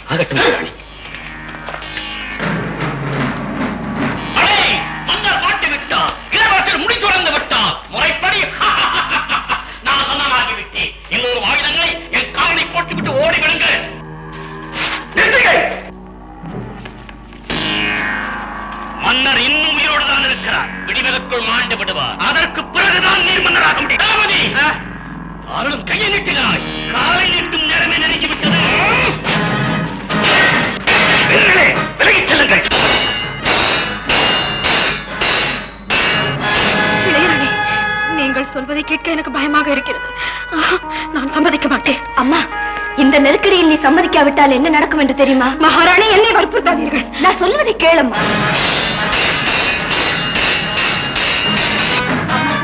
நீ தாமதிக்கும் ஒவ்வொரு கணமும் இந்த தேசத்தை பேராபத்து நெருங்கிக் கொண்டிருக்கிறது. சரி என்று சொல்லம்மா. தற்காலிகமாகத்தானே ஆமா ஆமா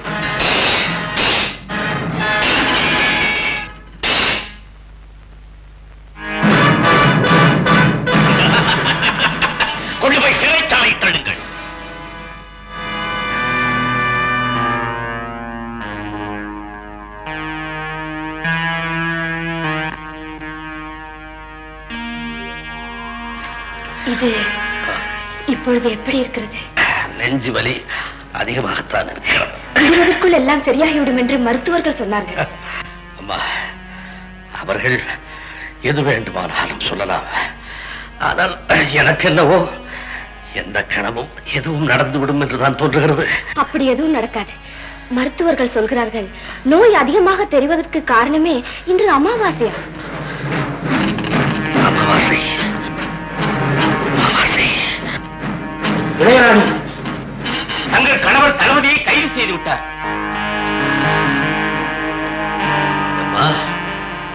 யார் வரக்கூடாது என்பதற்காக இத்தனை பாடுபட்டோமோ அவன் மன்னராக வரும் சூழ்நிலை உருவாகிவிட்டதே. அவர் எப்படி வர முடியும்?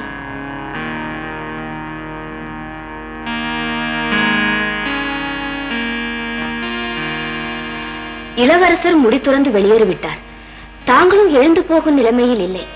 இந்த நெருக்கடியில் தங்கள் தம்பி தங்க கோபுர காவலுக்கு சென்று விடுவாரோ என்றுதானே கலங்குகிறீர்கள்? ஆமாம். சித்ராங்கியை தாங்கள் மகளாக தத்தெடுத்தது மருமகளாக வருவதை தடுப்பதற்கு மட்டும்தானா? அன்றைய நோக்கம் அதுதான். என்றைய நோக்கமாக இருந்தாலும் தத்தெடுத்த பிறகு தங்கள் மகளுக்குரிய சகல உரிமைகளும் தானாகவே அவளுக்கு வந்து விட்டதா இல்லையா? இல்லை என்று யார் மறுக்க முடியும்? அந்த உரிமையை காட்டி அரசகுமாரி நான் இருக்கும் போது மன்னரின் தம்பியாகிய தாங்கள் எப்படி மன்னராக வர முடியும் என்ற ஒரு கேள்வியை சித்ராங்கி தாங்கள் தம்பியை பார்த்து கேட்டால் அவள் கேட்பது நியாயம் என்று தாங்கள் ஒப்புக்கொள்வீர்களா? ஒப்புக்கொள்ளாமல் வேறு வழி? தங்களது இந்த கருத்தை நான் வெளியில் சொல்லி எதையாவது செய்யலாமா? எதை வேண்டுமானாலும் செய்து கொடு.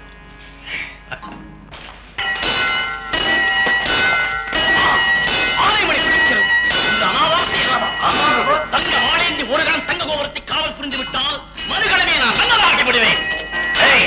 தங்க வாழேந்தி தரணியாள ஸ்ரீ ஸ்ரீ ஸ்ரீ பூபஜ நாயக வருவதா அறிவியுங்கள்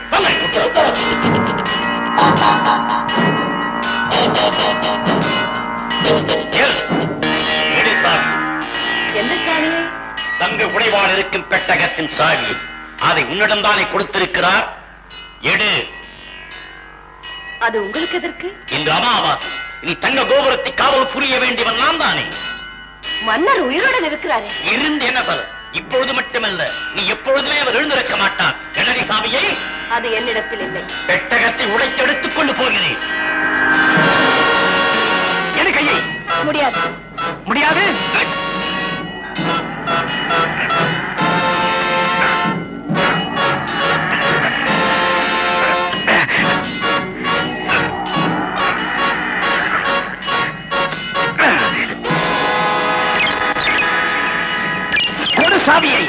கொடுக்க முடியாது. கொடுக்காவிட்டாலும் புடவை எழுத்து முன்னே நீ இதோ எடுத்துக்கொள்ளுங்க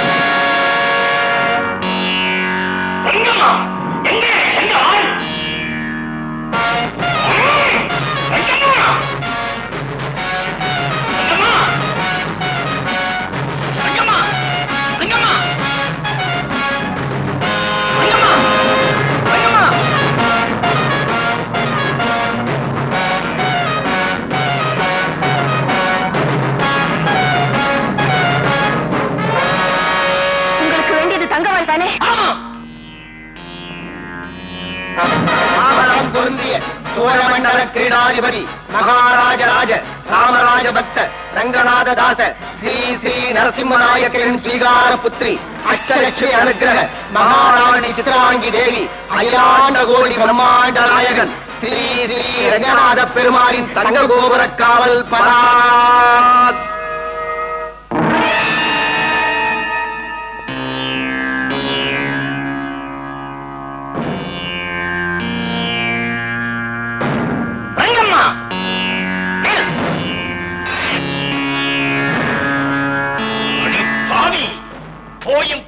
பரம்பரை ராசி அரசாக்கி விட்டாயே?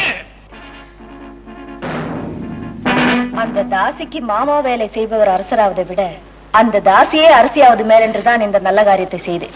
என்ன சொன்னாய்?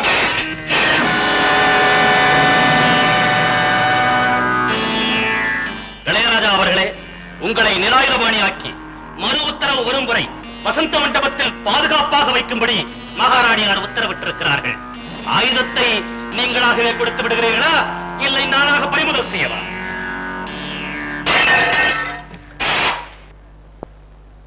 ஒரு கணம். கத்தியே போய்விட்டது. இந்த வெறுமுறை அவசியமோ?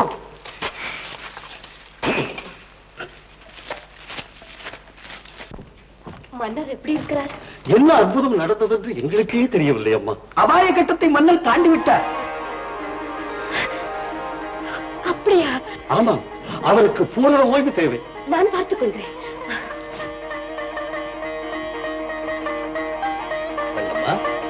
இரவு முழுதும் நீ உறங்கவே இல்லையா? என்னருக்கும் இருக்கட்டும். மருத்துவர்கள் தங்கள் உடல்நிலையை பற்றி நல்ல செய்தி சொன்னார்கள். ரங்கம்மா பூபதியை மன்னனாக வரவிட்டாமல் உன் புத்திசாலித்தனத்தால் தடுத்து நிறுத்தினாயே அந்த கணமே என் உடல்நலம் பூரணமாக குணமாகிவிட்டது. மணி அடிக்கல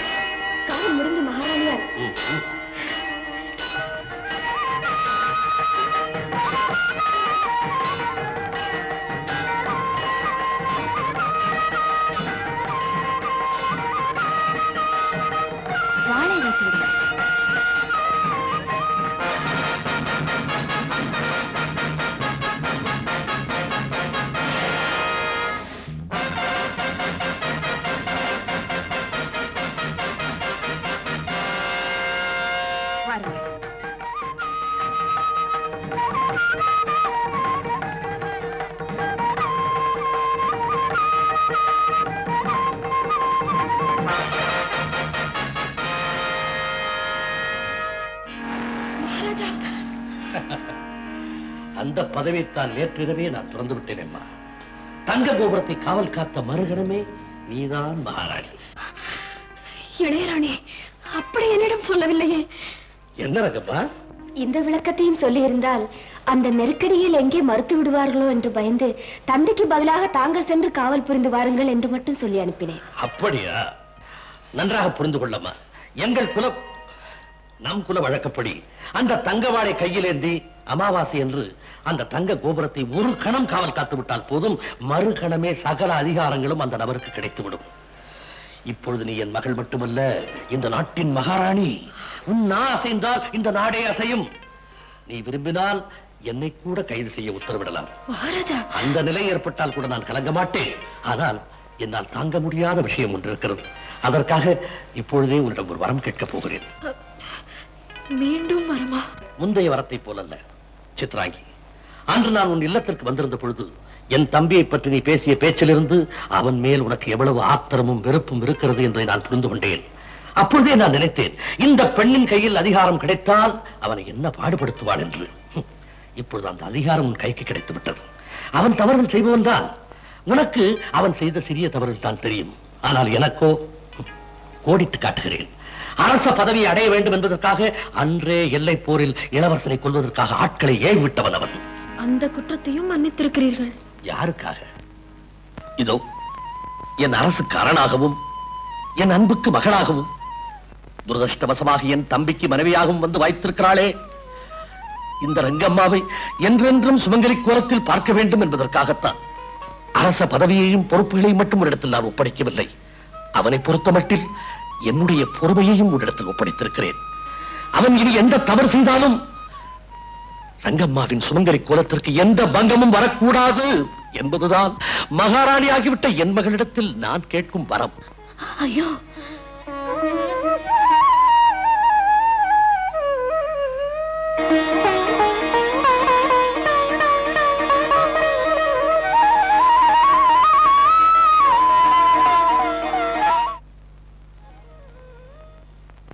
இளையராணி இளவரசர் வந்து விட்டாரா அவராக வரவில்லை. எப்படியோ அடியுண்ட அவரை அவரது குதிரையே கொண்டு வந்து சேர்த்து விட்டது. உடனடியாக அரண்மனை வைத்தியர்களை கொண்டு தேவையான சிகிச்சைகளை செய்து விட்டோம். இன்னமும் சுய உணர்வு திரும்பவில்லை.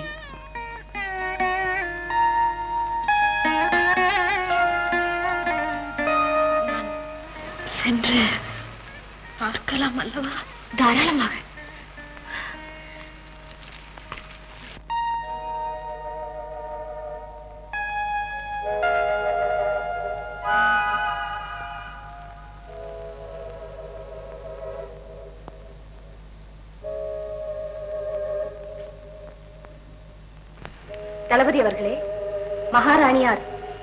உங்களோடு தனிமையில் பேச விரும்புகிறார்.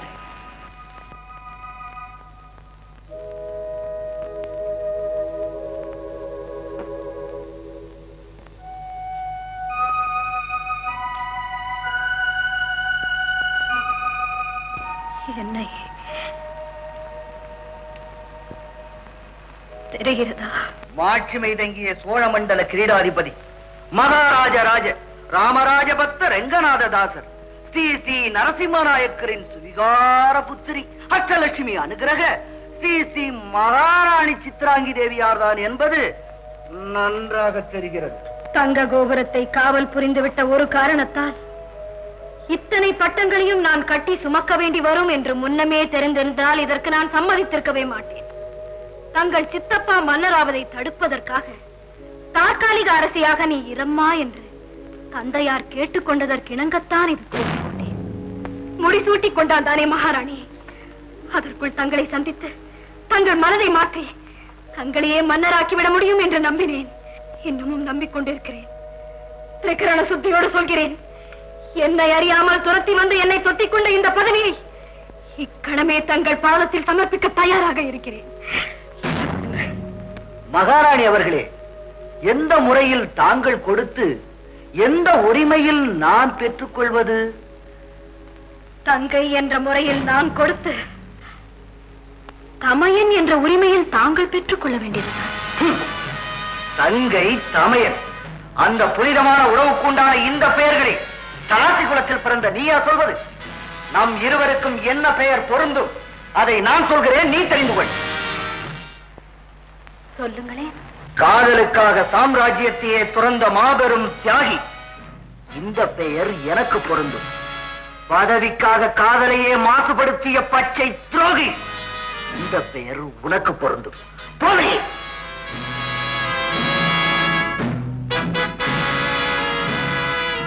நீ மன்னர் செய்த தவறின் காரணமாக மகாராணி ஆகியிருக்கிறாய் நீ மடிந்த பிறகு திருவரங்க பெருமானின் தெய்வீக பத்தினி. அரங்கநாயகி தாயாரை அலங்கரிக்கும் புனித பறவையை நம் தவத்தின் மீது போர்த்துவார்கள். மன்னர் குல மங்கை என்ற மாபெரும் புகழோடு போய் சேர்ந்து விடலாம் என்று கனவு காணாதே. நீ மடிந்த பிறகு உன் தவத்துக்கு கிடைக்கப் போகும் கொள்ளி நெருப்பு பரம்பரை தேவதாசிகளுக்குரிய மடப்பள்ளி அடுப்பு நெருப்பு தான். இது சபதமா? சவாலா? சபதம்தான். சவாலாக உருவெடுத்திருக்கிறது. இரண்டையுமே ஏற்றுக்கொள்கிறேன். நான் மடிந்த பிறகு அரங்கநாயகி தாயாருக்கு சாதாரண நாட்களில் போர்த்தப்படும் புடவை அல்ல திருமஞ்சன தினத்தன்று சாத்தப்படும் புனித புடவை என் சவத்தின் மீது போர்த்தப்பட்டு நன்றியுள்ள நாயக்கர் மகளாக போய் சேருவேனே தவிர கொழுந்து விட்டெறியும் மடப்பள்ளி நெருப்பை கொள்ளி நெருப்பாக பெற்று குடிகெடுக்கும் விலை மகளாக போய் சேர மாட்டேன் பார்க்கிறேன். நீங்கள் பார்க்க நான் போய் சேர வேண்டும். இதுதான் எனது சத்தியமோ பிரார்த்தனை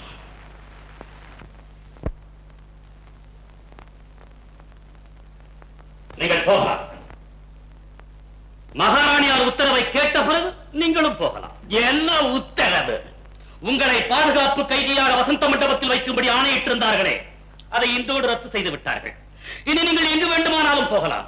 ஆனால் ஒன்று மதுவோ தேவதாசிகளோ இந்த கோட்டைக்குள் மட்டுமல்ல இதை சுற்றி இரண்டு காத எல்லைக்குள் கூட வரக்கூடாது என்று எச்சரித்திருக்கிறார்கள். இதை மீறினால் நீங்கள் கடுமையாக தண்டிக்கப்படுவீர்கள். இது மகாராணியார் உத்தரவு. தேவதாசியை பற்றி தேவதாசியை போட்ட உத்தரவை ஆடே திறமையற்ற தளபதி நீயே சொல்ல வந்து விட்டாயா? பூபதியாரே மகாராணியாரை பற்றி இனி ஒரு முறை கேவலமாக பேசினால் ஆயிரம் முறை பேசுவேன். அவள் பரம்பரை தேவடியார் என்று கோட்டையில் கத்துவேன். வாழருந்த நரி ஊழை இடத்தானே செய்யும்? கத்து. தளபதி அந்த நரிக்குண்டான குலத்தை காட்டி உங்கள் மன்னர் மகாராணி அத்தனை பேரை என் காலில் விழச் செய்கிறேன். அமைதி அமைதி. எலுமிச்சன் கரியோடு வைத்தியரை அனுப்பி வைக்கிறேன். சேரபாண்டிய மன்னவராகிய தங்களுக்கு சோழ மண்டலம் சொந்தமாகும் நேரம் நெருங்கிவிட்டது. பாண்டியரே கேட்டீரா சேர மன்னரே சிறிது புறம். பூபதியாரே சோழ நாடு எங்களுக்கு சொந்தமாகிவிடும் என்று எப்படி சொல்லுகிறீர்? மகாராணியாகிவிட்ட தேவதாசி சித்தாங்கி இருக்கிறாளே. சின்ன சந்தேகம். அந்த பரதநாட்டியக்காரியை பற்றி தலை சொல்லுகிறேன் சொல்லும் சொல்லும். அவள் சீல மோசத்தால் மன்னர் மாரடைப்பால் மனமுடைந்து கிடக்கிறார். அவள் மீது கொண்ட மோகத்தால் இளவரசன் உண்மத்தாகி செயலற்று போய்விட்டார் இந்நிலையை பயன்படுத்திக் கொண்டு எங்களை படையெடுக்க சொல்லுகிறீரா? அதற்கு அவசியமே இல்லை. படையெடுப்போம் என்று மிரட்டல் ஓதி அனுப்பினாலே போதும். அவள் பயந்து நடுநடுங்கி உங்கள் காலடியில் சரணாகதி அடைந்து விடுவாள். பாண்டியரே அவர் அவளைத்தானே மிரட்ட சொன்னார். நீர் ஏன் மிரண்டு போயிருக்கிறீர்? அதுவா சற்று தனிமையில் பேச அந்த நாட்டியக்காரியிடம் தானே? நாம் இருவரும் ஐயா வந்து. சேர மன்னரே பூபதி சொன்னது போல் சித்ராங்கி நம் மிரட்டலுக்கு பயந்து சரணடைந்து விட்டால் சரி. எதிர்க்க துணிந்தாலோ? துணிய மாட்டாள் ஐயா. எப்படி ஐயா சொல்லுகிறீர்? அவள் ஒரு பரம்பரை தேவதாசி. நான் டமட்ட டமட்ட டமட்ட என்று போர் முரசம் கொட்டினால் அவள் தக்கிட்ட தக்கிட்ட தக்கிட்ட தக்கிட்ட என்று பரதநாட்டியம் ஆடுவாளே தவிர நம்ம எதற்கும் துணிவே அவளுக்கு வராதையா? சரி சரி. நீர் பூபதியிடம் பேசாமல் இரும் வா. பூபதியாரே எப்படியோ சோழ நாடு எங்கள் வசமாகி விடுவதாக வைத்துக் கொள்வோம். உங்கள் நிலை என்ன?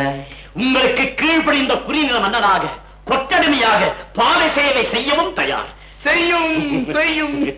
சோழ நாட்டின் அதிபதி சித்ராங்கி தேவியாருக்கு உங்கள் அரசு எங்கள் அரசுக்கு கட்டுப்பட்டது என்பதை வெளியுலகத்திற்கு எடுத்துக் காட்ட ஆண்டுதோறும் நீங்கள் எங்கள் அரசுக்கு கப்பம் கட்டி வர வேண்டும். மறுத்தால் எங்களது பயங்கர படையெடுப்பால் உங்கள் நாடு பஸ்மீகரமாகிவிடும் இங்கனும் சேரபாண்டிய மன்னர்கள். தளபதியாரே இது பற்றி உங்கள் அபிப்பிராயம் என்ன? மன்னிக்க வேண்டும் மன்னா இருவரும் நாட்டின் படையெடுப்பை சமாளிக்கும் படைபலம் தற்போது நம்மிடம் இல்லை மந்திரியாரே தங்கள் கருத்து? தளபதியே இங்கனம் கூறிவிட்ட பிறகு நான் என்ன சொல்ல இருக்கிறது மன்னா? ஆனால் நம்முடைய கௌரவம் கெடாத வகையில் அவர்களோடு ஒரு சமாதான ஒப்பந்தம் செய்து கொள்வது நல்லது என நான் நினைக்கின்றேன். அருமையான யோஜனை. அமைச்சரே சமாதான தூதுவனா செல்ல இந்த நாட்டில் என்னை தவிர வேறு யாரும் இல்லை என்பது என்னுடைய அபிப்பிராயம். உங்கள் கருத்து சொல்லுங்கள். பொட்டு கட்டுவளுக்கு பட்டம் அமைச்சரே நான் அப்படி சொல்லவில்லை. நம் அரசாரை பற்றி சேரபாண்டியர் அப்படி கேவலமாக நினைத்தாலும் தூதாக வந்திருப்பது மன்னரின் தம்பி மட்டுமல்ல மன்னராகவே ஆக வேண்டியவர். அல்லவா? ஆமாம் ஆமாம். என்று மரியாதை கொடுத்து என் வேண்டுகோளை ஏற்பார்கள். நான் சென்றால் போரை நிறுத்தி விடுவேன். இது சொல்லம்மா ஒரு வார்த்தை நான் சொல்லலாமா? உன்னை கலக்காமல் இங்கே எந்த முடிவும் எடுக்க போவதில்லை. சொல்லு. தூதாக யார் சென்றாலும் அவர்கள் கேட்கும் கப்பத்தை நாம் கொடுக்க போகிறோமா இல்லை மறுக்க போகிறோமா? அதை இங்கேயே முடிவெடுத்துக் கொண்டு போவது நல்லதல்லவா? அடிமுட்டாத்தனமாக இருக்கிறாயே. கப்பம் கட்டாமல் அங்கே போய் என்ன பேசுவது போரை எப்படி நிறுத்துவது? கப்பம் கட்டித்தான் ஆக வேண்டும். எதிரின் கால் விழுந்துதான் தீர வேண்டும். இந்த கேவலத்தை செய்வதற்கு மன்னராகவே வந்திருக்க வேண்டியவர் போக வேண்டிய அவசியம் என்ன? கடைநிலை போர் வீரன் அனுப்பினாலே போதுமே. போர் வீரர்கள் அம்மா இங்கு பேசப்பட்டவை எல்லாம் எங்களுடைய கருத்துக்கள் தான் முடிவெடுக்க வேண்டியது உன்னுடைய பொறுப்பு. அது என்னவென்று நான் தெரிந்து கொள்ளலாமா? கட்டுபவளுக்கு பட்டம் கட்டினாலும்? அப்படி என்னை பற்றி சேரபாண்டிய மன்னர்கள் கேவலமாக நினைத்தாலும் நரசிம்ம நாயக்கர் ஆட்சி புரிந்த காரணத்தால் சோழ நாட்டின் பேசி மகளுக்கும் வீரமும் விவேகமும் ஏற்பட்டு விட்டது இதை எதிரிகளுக்கு உணர்த்திவிட்டு வீர சொர்க்கம் அடைவதே மேல் என்று முடிவெடுத்து விட்டேன் கப்பம் கட்டவோ காலில் விழவோ நான் தயாராக இல்லை. போர் முரசு ஒலிக்கட்டும். அவள்தான் மகாராணி. மகாராணி மகாராணி மன்னிக்க வேண்டும். நிச்சயமாக இந்த போரில் நாம் வெற்றி பெற முடியாது. இக்கணத்திலிருந்து போர் முடியும் வரை தாற்காலிகமாக உங்களை பதவி நீக்கம் செய்திருக்கிறேன். அப்படியானால் படை நடத்தி செல்வது? நானே நடத்தி செல்கிறேன்.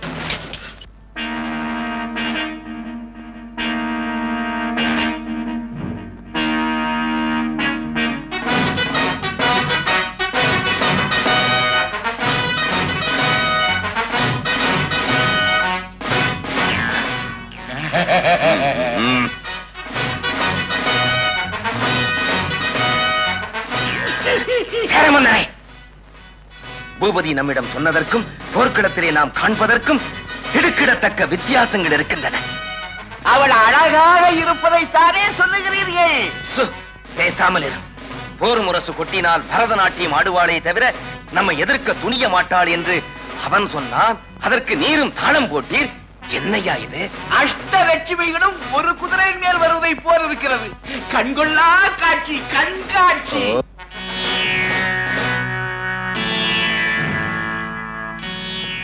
இந்த மடலை சேரபாண்டிய மன்னர்களிடம் கொடுத்து பதில் பெற்று வா வெள்ளை கொடியுடன் செல்.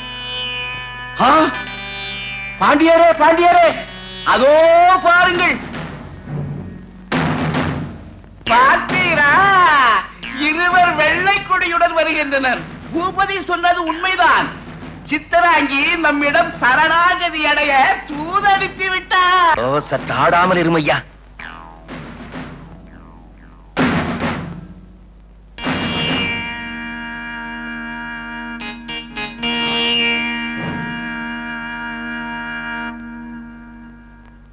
சிறப்புமிக்க சேரபாண்டிய மன்னர்களுக்கு சோழ நாட்டின் மகாராணி சித்திராங்கி எழுதியது. புகழ்மிக்க உங்கள் பாரம்பரிய பெருமைக்கு களங்கம் ஏற்பட இருப்பதை தடுப்பதற்கும் என்ன? இரும் தமிழகத்தின் எதிர்கால வரலாற்றில் ஒரு தாசி மகளுக்கு முதலிடம் கொடுக்காமல் இருப்பதற்கும் போர் தர்மப்படி இறுதி பேச்சுவார்த்தை நடத்த நான் விரும்புகிறேன். இங்கனம் மகாராணி சித்ராங்கி. பாண்டியரே ஏதோ அழகாக இருக்கிறாளே என்று பரிதாபப்பட்டேன். இப்போது மடலில் ஆணவத்தை கொட்டி இருக்கிறாள். அவளோடு என்ன பேச்சு? ஓ சேரமன்னரே பூபதி பேச்சை நம்பி நாம் அற்ப சேனையோடு வந்து விட்டோம். அது மட்டுமல்ல அவளே பேச்சுவார்த்தைக்கு முன் வந்திருக்கிறாள். பயன்படுத்திக் கொள்வோம். உங்கள் மகாராணியை வரச் சொல்லுங்கள். பாண்டியரே என்ன இருந்தாலும் அவள் ஒரு தேவதாசி. நாம் அவளோடு சரிநிகர் சமானமாக பேசக்கூடாது. நாம் அமர்ந்து அவளை நிக்க வைத்து கேள்வி கேட்டு இடுப்பை ஒடிக்க வேண்டும். வாருங்கள். உள்ளே போய் அவளை அவமானப்படுத்துவதற்கான வேலைகளை செய்வோம். வாருங்கள் வாருங்கள்.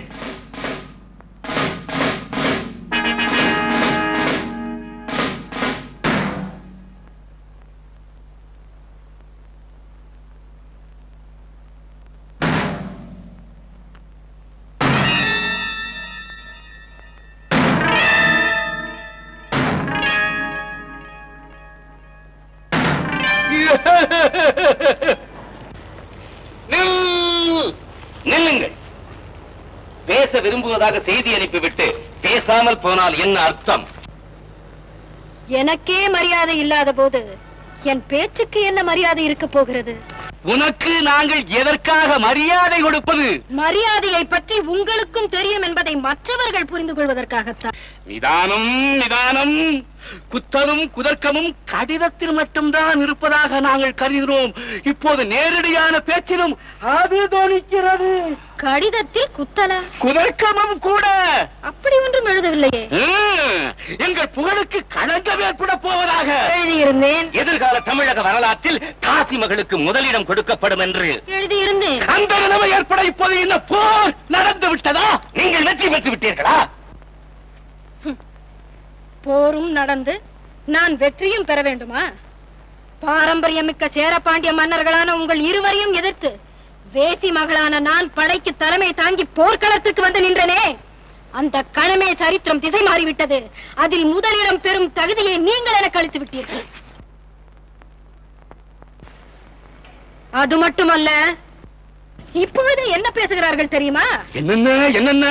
நரசிம்ம நாயக்கர் ஆட்சி புரிந்தவரை தொடை நடுங்கிக் கொண்டிருந்த சேரபாண்டிய மன்னர்கள் வீரம் என்றால் விலை என்னவென்று கேட்கும் தேசி மகள் பதவிக்கு வந்தவுடன் அவளை வெல்ல படையெடுத்து வந்து விட்டார்கள். இவர்களும் வீரர்களானா பேடிகள் என்று பகிரங்கமாக பேசுகிறார்கள் இனி போரும் நடந்து போர் மட்டும் மூண்டு விட்டால் நீ மாண்டு விடுவாய். அப்பொழுதும் வீராங்கனை வெற்றி மாதா என்று என்னைத்தான் பாராட்டுவார்கள். உங்கள் மானம் போனது போனதுதானே? முடிவை கேளுங்கள். இந்த கட்டத்தில் நான் தோற்றாலும் எனக்குத்தான் வெற்றி. நீங்கள் வென்றாலும் உங்களுக்குத்தான் தோல்வி. இந்த நிலைமை ஏற்பட வேண்டுமா? ஏனையா என்னை பார்க்கிறீர். வாரும் தருவீர் பேசுகிறோம் ஆண்டியரே சிக்கல் சிக்கல் என்று சொல்லுவார்களே அதனுடைய உண்மையான அர்த்தம் இப்போதுதானையா எனக்கு புரிகிறது. புரிந்து என்னையா பிரயோஜனம்? இதிலிருந்து விடுபடுவது எப்படி? எனக்கு ஒரு வழி தோன்றுகிறது. என்ன? ஏனையா இழுக்கிறீர்? நாம் அவளை திருமணம் செய்து கொண்டால்? நாமா? நாம் என்றால் நானோ அல்லது நீரோ? நான் ஏக பத்தினி வரதனையா? நான் ஏகப்பட்ட பத்திரிகை விரதனையா? நான் அவளை திருமணம் செய்து கொண்டால் நிச்சயம் சமாதானம் பிறக்கும். திருமணம் செய்து கொண்டால் குழந்தை தான் பிறக்கும் சமாதானம் எங்கே இருந்து பிறக்கும்? இந்த ஆபத்தில் இருந்து விடுபடுவது எப்படி? ஏன் பாண்டியரே? இந்த விஷயத்தை பற்றி அவளிடமே கேட்டுவிட்டால்? ஆ, இதையாவது சொன்னீரே. அம்மணி நீங்கள் சொன்னதெல்லாம் எங்களுக்கு நியாயமாகப்படுகிறது நன்றி. ஆனால் இருதரப்பு கௌரவமும் கெடாமல் இருக்க என்ன காரணம் சொல்லி இந்த போரை நிறுத்துவது? நிறுத்தலாமே. எப்படி என்றுதானே கேட்கிறேன். சோழ நாட்டு இளவரசரோ தளபதியோ படை நடத்தி வருவார்கள் என்று நம்பித்தான் நாங்கள் படையெடுத்து வந்தோம். உண்மை அதுதான். அதேதான். அதேதானுக்கு புறம்பாக போரை பற்றி எதுவுமே தெரியாத சித்ராங்கி தேவி படை நடத்தி வந்ததால் அவரோடு போரிடுவது எங்கள் வீரத்துக்கு இழுக்கு என்று கருதி போரை தவிர்த்து விட்டோம். ஆஹா. இப்படி நீங்கள் சொன்னால் தப்பினோம் ஐயா தப்பினோம். இது நல்ல யோசனை? ஆனால் அம்மணி தங்கள் நிலைமை? எனக்கென்ன? நான் போர் புரிந்து சாக தயாராகத்தான் இருந்தேன். ஆனால் சேரபாண்டிய மன்னர்கள் அந்த சந்தர்ப்பத்தையே எனக்கு அளிக்கவில்லை என்று நான் சொல்லிவிட்டு போகிறேன். அவ்வையின் மறுபிறவியே அமருக.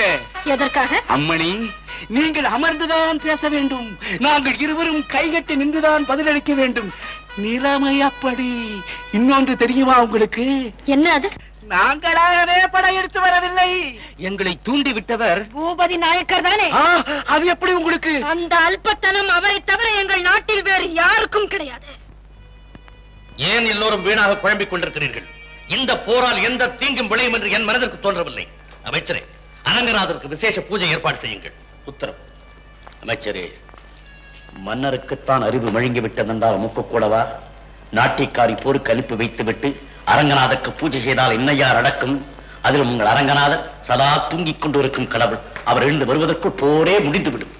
மன்னா மன்னா போர்க்களத்திலிருந்து நல்ல செய்தி வந்திருக்கிறது. என்னது போர் துவங்கவே இல்லையா? கப்பம் கட்டவும் சம்மதிக்கவில்லையா? எப்படியோ நேரபாண்டிய மன்னர்களிடம் சமாதான ஒப்பந்தம் செய்து கொண்டு அந்த மன்னர்கள் புடைய சூழ அரண்மனை நோக்கி வந்து கொண்டிருக்கிறார்கள் மகாராணியார். அமைச்சரே அரங்கநாதர் எதையுமே எழுந்து சென்று சாதிக்க வேண்டியதில்லை. அனந்த சயனத்தில் இருந்தபடியே அனைத்தையும் சாதிப்பார் என்பதை அறிவிலிகள் உணரட்டும். அரங்கனாவது நாதனாவது. எனக்கெல்லாம் புரிந்து விட்டது எது? தேவதாசி சித்ராங்கி சேர பாண்டியர்களையும் மயக்கி அப்படித்தான் நான் நம்புகிறேன். நீ எப்படி? பெரியவருக்கு தெய்வத்தை பற்றி தெரியும். தங்களுக்கு தேவதாசிகளை பற்றி தெரியும். இரண்டையும் பற்றி எனக்கு எதுவுமே தெரியாது. நான் என்ன சொல்ல முடியும்? எதற்கு மேல்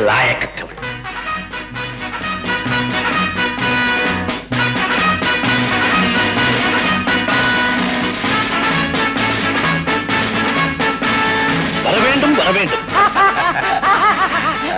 நாயக்க மன்னரே தங்களுடைய சுவீகார புத்திரி தன்னுடைய அரும்பெரும் ராஜதந்திரத்தால் நீண்ட நாள் பகைவர்களான எங்களை சோழ நாட்டின் நிரந்தர நண்பர்களாக்கி விட்டார்கள். மிக்க மகிழ்ச்சி. ஆனால் இதை எப்படி வேறு எப்படி? நாங்கள் கத்தியை மட்டும் தீட்டி கொண்டு வந்தோமா? இவர்கள் புத்தியையும் தீட்டி கொண்டு வந்து விட்டார்கள். அந்த புத்தி கூர்மையின் முன்னால் எங்கள் கத்தி முனைமா அடங்கி விட்டாலும் நீங்கள் இருவரும் என் அரண்மனையில் விருந்தினராக சில நாட்கள் தங்க வேண்டும். அதுதான் முடியாது. என்ன மீண்டும்? நீங்கள் விருந்தினராக எங்கள் நாட்டில் வந்து இருக்க சம்மதித்தார் எப்பொழுது வேண்டுமானாலும் வர சம்மதி தளபதியாரே மகாராணி. பூபதி நாயக்கரை உடனே வந்து என்னை தனிமையில் சந்திக்க சொல்லுங்கள். உத்தரவு.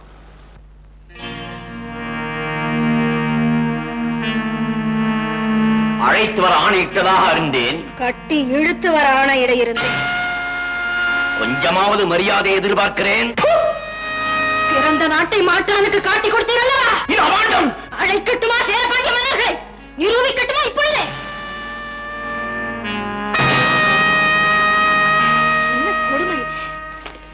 இந்த துரோகத்துக்கு கைகூலியாக குறுநிலத்தை அவர்களிடம் பிச்சை கேட்டிருக்கிறீர்களே. நீங்கள் நடக்க வேண்டிய முறையில் நடந்திருந்தால் இந்த சோழ சாம்ராஜ்யத்துக்கே நானுமே மன்னராக்கி இருப்பேனே எப்படி நடக்க வேண்டும் சொல்லுங்கள். மற்றவர்கள் மதிக்கும் கனமாக நடந்து கொள்ள முயற்சிக்கிறேன். நீர் மற்றவர்கள் மதிக்கும் கணவனாக நடந்து கொள்ள வேண்டாம். அந்த உத்தமி இளையராணிக்கு கணவனாக நடந்து கொள்ள.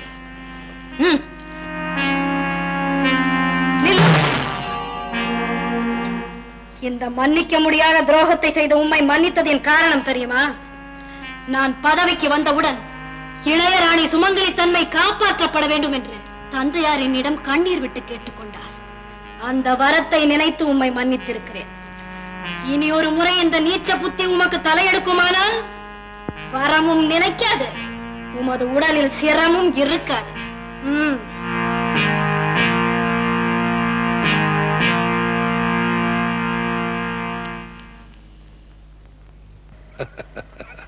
என்னுடைய பொறுமையை உன் உருவத்தில் பார்த்தேன் பூரித்தேன். நீ வாழ்க. எனக்கு இன்னொரு வரமும் வேண்டும். அதை நீதான் கொடுக்க முடியும். என்ன அது? சேரபாண்டிய மன்னர்களின் மனதை நீ மாற்றி விட்டாய் அதே போன்று இளவரசனின் மனதையும் மாற்றி அவனுக்கு ஒரு திருமண ஏற்பாட்டை செய்து விட்டால்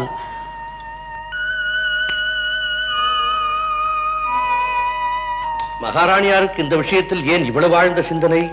வேறொன்றும் இல்லை. ஒரு நல்ல சமயம் பார்த்து இளவரசரிடம் தாங்களே சென்று இந்த விஷயத்தை பற்றி பேசுங்கள்.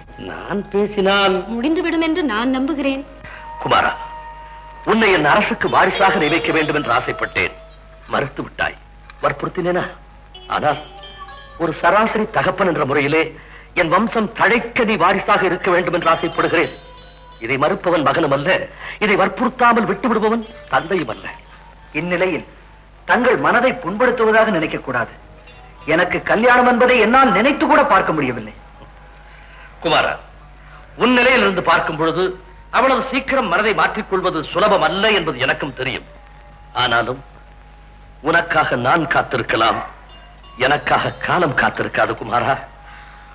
முடி துறந்து விட்ட உனக்கு எதிர்காலத்தில் அன்பு காட்டவோ ஆதரவு கொடுக்கவோ யாருமே முன்வர மாட்டார்கள் நீ எந்த நிலையில் இருந்தாலும் உனக்காக தன் உயிரையே கொடுக்க தயாராக இருக்கப் போகிறவள்?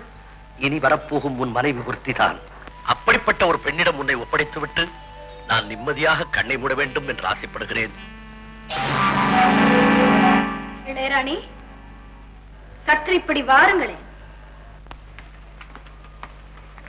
தாங்கள் இங்குதான் நிற்கிறீர்களா?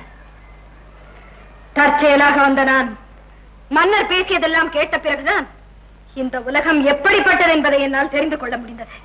என்ன தெரிந்து கொண்டீர்கள்? அம்மா எந்த வசதியும் இல்லாத ஏழை குடும்பத்தில் கூட தன் மகளை ஒருவன் கையில் ஒப்படைத்து விட்டால் நிம்மதியாக சாவோம் என்று சொல்வார்களே தவிர மகனை பற்றி அவ்வளவாக கவலைப்பட மாட்டார்கள். ஆனால் எல்லா வசதிகளும் நிறைந்த இந்த அரண்மனையில் நாம் கேட்டது என்ன? மகனுக்கு மனம் முடித்து விட்டாலே நிம்மதியுடன் போய் சேர்ந்து விடுவார்களாம். ஏன்? இங்கு மகள் என்று ஒருத்தி வந்திருப்பதாகவே அந்த இதயத்தில் நினைவில்லை. அம்மா. தவறு செய்து விட்டேன் அம்மா. தவறு செய்து விட்டேன். மாபெரும் தவறு செய்து விட்டேன்.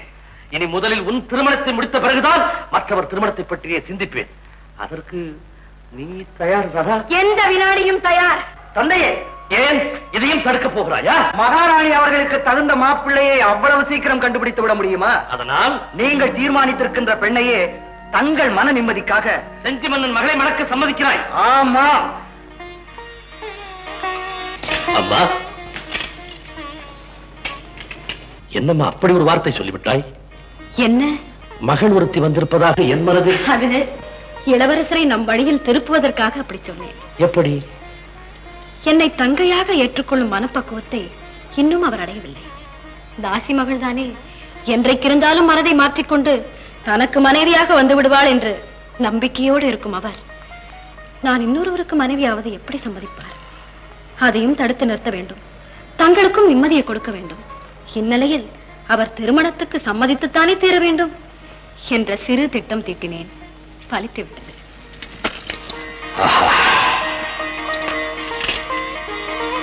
சரி மணமகனை சம்மதிக்க வைத்தாகிவிட்டது மணமகளை நானும் இளையராணியும் செஞ்சுக்கு புறப்படுகிறோம். அதுதான் சரி. மகாராணி அவர்களே போர்மேகம் ஒன்றிருந்த தென்னகத்தில் நிரந்தர சமாதானத்தை ஏற்படுத்தினீர்கள். உங்கள் ராஜதந்திரத்திற்கு தலைவணங்கி நீங்கள் சொல்வதை நான் கேட்கிறேன். ஆனால் இந்த திருமணத்தினால் வாழப்போவது என் மகள் ஒரு முறை தடைப்பட்டதால் அவள் மனமுடைந்து போயிருக்கிறாள். நீங்களே கேளுங்களேன்.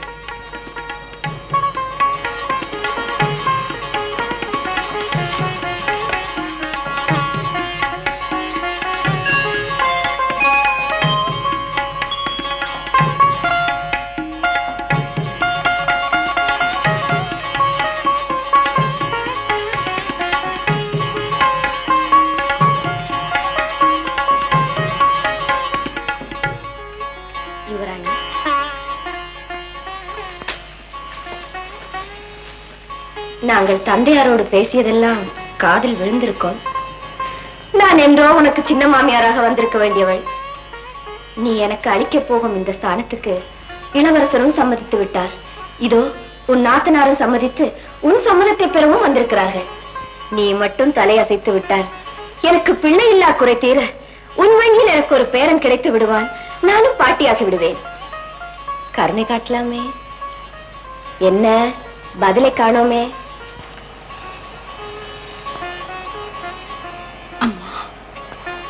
உன் தயக்கத்திற்கு காரணமே. உன்னை பெண் கேட்க நான் வந்திருக்கிறேனே. அதனால்தான் நீங்கள் நினைப்பது தவறு.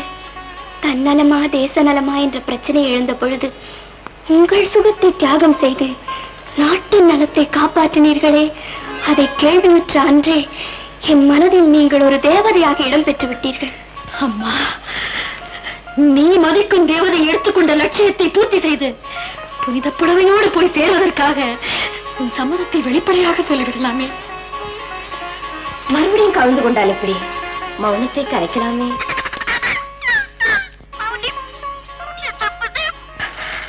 ஏனுமா கிளி சொல்வதுதான் மௌனத்துக்கு அடையாளமா சொல்லம்மா.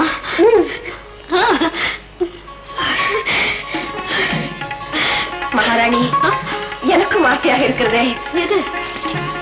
நடக்கட்டுமே.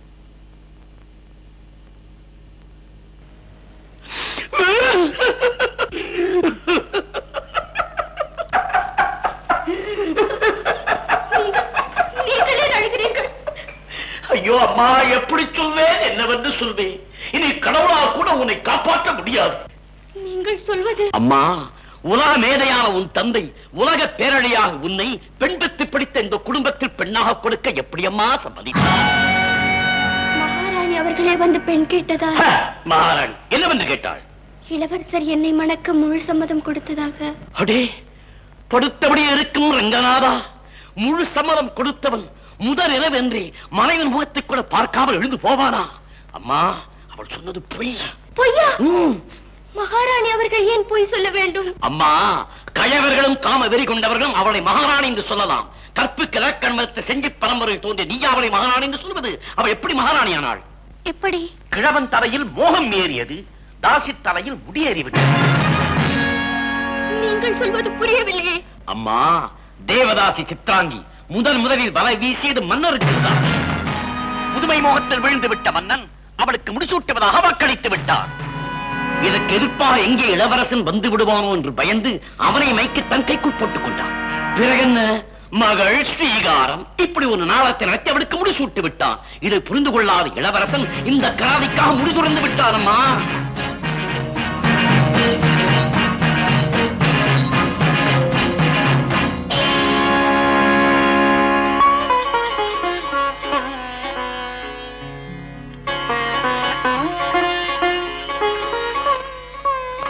என்னம்மா? அத்தனையும் கேட்டுவிட்டு நீ பேசாமல் இருக்கிறாய் நடந்ததை கூறினீர்கள். இனி நடக்க வேண்டியதையும் நீங்களே சொன்னால். நீ இப்பொழுது பிறந்த நாட்டுக்கு போய்விடு. அங்கிருந்தபடியே சித்ராங்கி உடனடியாக சோழ நாட்டை விட்டே வெளியேற வேண்டும். இல்லாவிட்டால் செஞ்சி படைகள் சோழ நாட்டை பயங்கரமாக தாக்கும் என்று ஒரு எச்சரிக்கை விளச்சொல். அதை கேட்டு ஓடப் போகிறது சித்ராங்கி மட்டுமல்ல. கிழவரும் அவள் பின்னாலேயே ஓடி விடுவார் பிறகு உன் கணவன் உன் பின்னால் வந்து விடுவார். எப்படி? அவ்வளவுதான்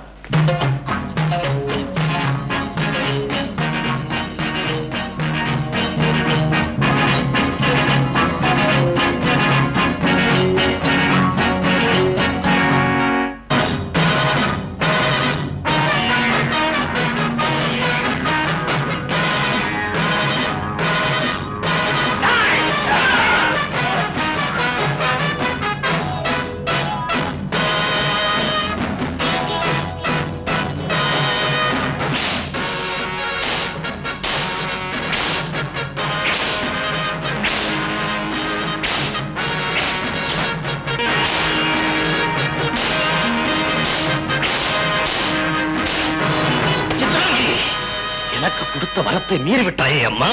இல்லை. வரத்தை மீறக்கூடாது என்பதற்காகத்தான் சிரத்தை அறுத்தறிய வேண்டிய தவறுக்கு தன் சொந்த கரத்தால் அடித்து ஆத்திரத்தை தீர்த்துக் கொண்டார்கள். என்னம்மா அப்படி என்ன தவறு செய்து விட்டான்? அதை அதை எப்படி? என்னம்மா என்ன? இளவரசனையே கொல்லச் சொன்னானே அதை விடவா இப்பொழுது? ராமாயணத்தில் ஜானகியின் தந்தைதானே ஜனக மகாராஜா? அந்த ஜனக மகாராஜாவுக்கும் ஜானகிக்குமே கலங்கம் கற்பித்து விட்டாரே. அதுவும் இங்கு வாழ வந்திருக்கும் பெண்ணிடமா இந்த கதையை கட்டுவது?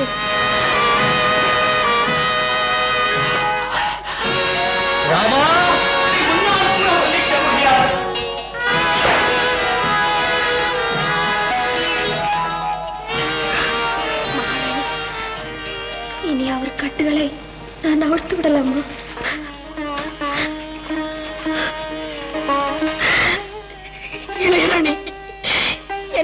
மன்னித்து விடுங்க. என்னை மன்னித்து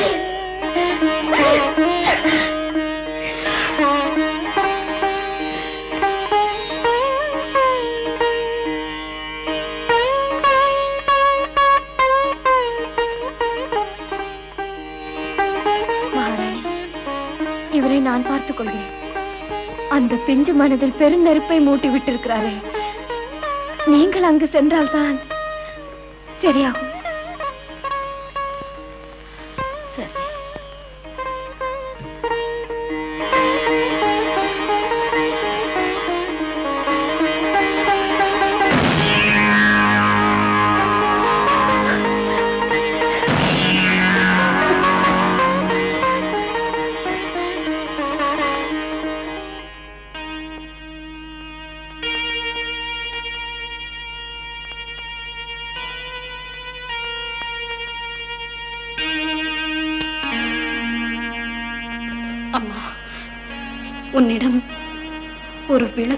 சொல்ல வேண்டும் என்பது அவசியமில்லை. கொஞ்சம் பொறுமையாக கேட்டால். மன்னிக்க வேண்டும் மகாராணி. யார் யாரை பற்றி யாரிடமிருந்து என்னென்ன தெரிந்து கொள்ள வேண்டுமோ அத்தனையும் ஏற்கனவே தெரிந்து கொண்டிருக்கிறேன். தெரிந்து கொண்டதை பற்றி நீ எடுத்திருக்கும் முடிவென்னம்மா நீங்கள் இந்த பதவிக்கு வந்திருக்க கூடாது. இந்த பதவியை நான் தேடி பெறவில்லை அம்மா. புரிந்து கொள்ளுங்கள் மகாராணி. நீங்கள் பதவியேற்றுக் கொண்டதில் தவறே இல்லை. அதற்குரிய மகத்தான அதிகாரங்களை பயன்படுத்தாமல் கோழையாகி இருக்கிறீர்களே அதுதான் என் குற்றச்சாட்டு. புரியவில்லை அம்மா. எந்த நாட்டிலும் மிகப்பெரிய குற்றம் எது? நாட்டையே காட்டிக் கொடுப்பது. உங்கள் ஆட்சியிலும் ஒருவன் காட்டிக் கொடுத்தான் அல்லவா? யார் அவன்? பூபதி நாயக்கர். ஏன் அவனை இன்னமும் விட்டு வைத்திருக்கிறீர்கள்? நாட்டை காட்டிக் கொடுத்த நாய் தலையனை நடுத்தெருவில் நிறுத்தி நார் நாராக கிழித்திருந்திருந்தால் தந்தைக்கும் மகளுக்குமே தகாத உறவு இருப்பதாக என்னிடமே வந்து சொல்லி இருப்பானா அம்மா அம்மா அம்மா மகளான நான் வந்ததால் இந்த வேந்தர் குலமே விழுந்து விடுமோ என்று வேதம்பி கொண்டிருந்தேன். இதை இதை என்றென்றும் வாழ வைக்க தெய்வ மகளான நீ வந்து விட்டாய். உன்னை நான் திரை கடல் பற்றினாலும் நீ தீர்க்க சுமங்கலியாக வாழ வேண்டும் தாயே. வாழ வேண்டும்.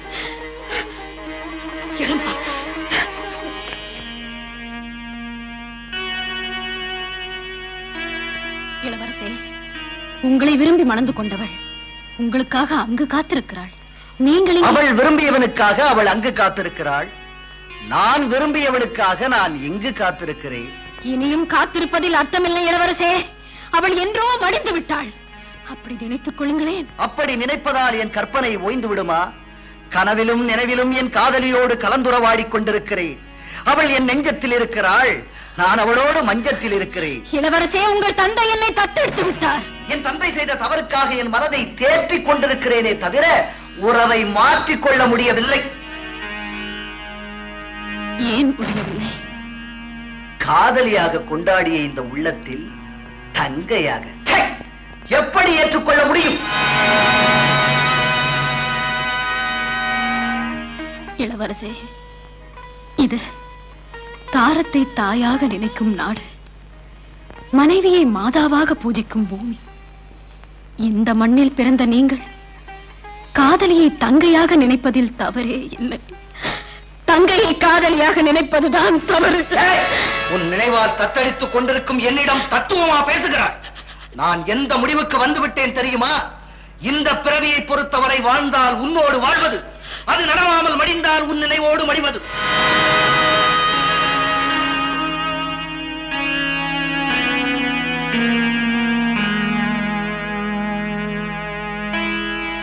இளவரசே பல ஆண்டுகளோ ஒரு நாளோ என்னோடு வாழ்ந்து விட்டால் இந்த பிறவி மகிழ்ச்சியோடு முடிந்து விட்டதாகத்தானே அர்த்தம்? ஆமாம். தற்காலிக அரசியாக இருக்க வற்புறுத்தப்பட்ட நான் நீங்கள் தாலி கட்டி இருக்கிறீர்களே அந்த குலமகளுக்கு நிரந்தர வாழ்வு கொடுப்பதற்காக தற்காலிக விலை மகளாகவும் இருந்து சாக முடிவெடுத்து விட்டேன். கற்பனை செய்திருக்கிறீர்களே நெஞ்சத்திலும் மஞ்சத்திலும். அத்தனையும் இன்றை அனுபவித்து விட்டு மறுபிறவி எடுத்ததாக எண்ணி அவளுக்கு வாழ்வு கொடுங்கள்.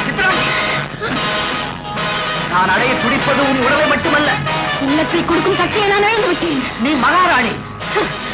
நான் பரம்பரை தேவதாசி. அடி சண்டாடி என் தந்தை உன்னை தத்தெடுத்து விட்டார். இப்பொழுதாவது அதை ஒப்புக்கொள்கிறீர்களா? சித்ராங்கி மனித பண்புக்கும் மிருக இச்சைக்கும் இடையில் அகப்பட்ட இளவரசன் தத்தளிக்க துவங்கி விட்டான் உங்கள் இருவரில் ஒருவர் மடிந்தாலொழிய இந்த போராட்டத்துக்கு முடிவே கிடையாது.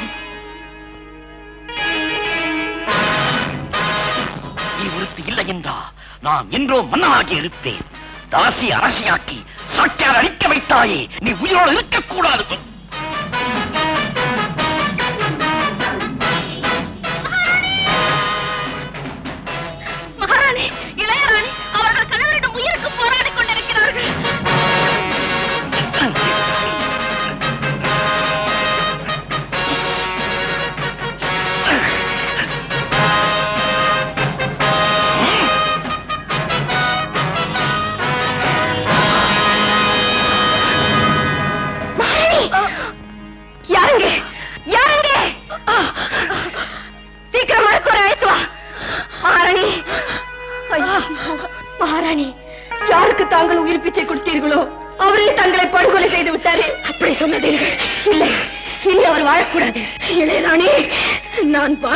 உங்களை சுமங்கலியாக வைத்திருந்தேனே. சாகும் போது அமங்கலியாக்க வேண்டுமா? நான் தற்கொலை செய்து கொண்டதாகத்தான் தாங்கள் சொல்ல வேண்டும். வாக்களியுங்கள் சரி. நான் மகாராணியாக சாக விரும்பவில்லை. என்னை எந்த இடத்துல இருந்து மகளாக அழைத்து வந்தாரோ அந்த இடத்திற்கு சீக்கிரம் என்னை அழைத்து செல்லுங்கள். மாறன் தற்கொலை செய்து கொண்டார்கள் என்று அரண்மனை முழுவதும் கத்து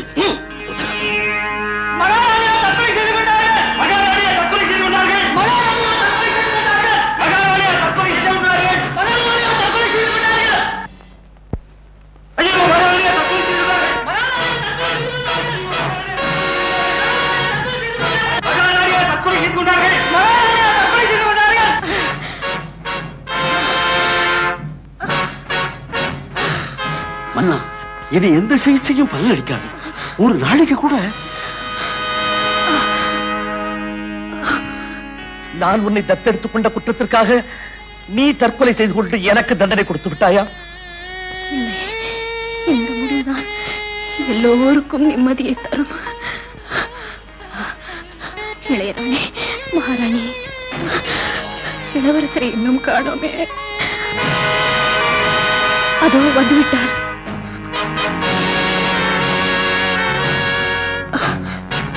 இளையராணி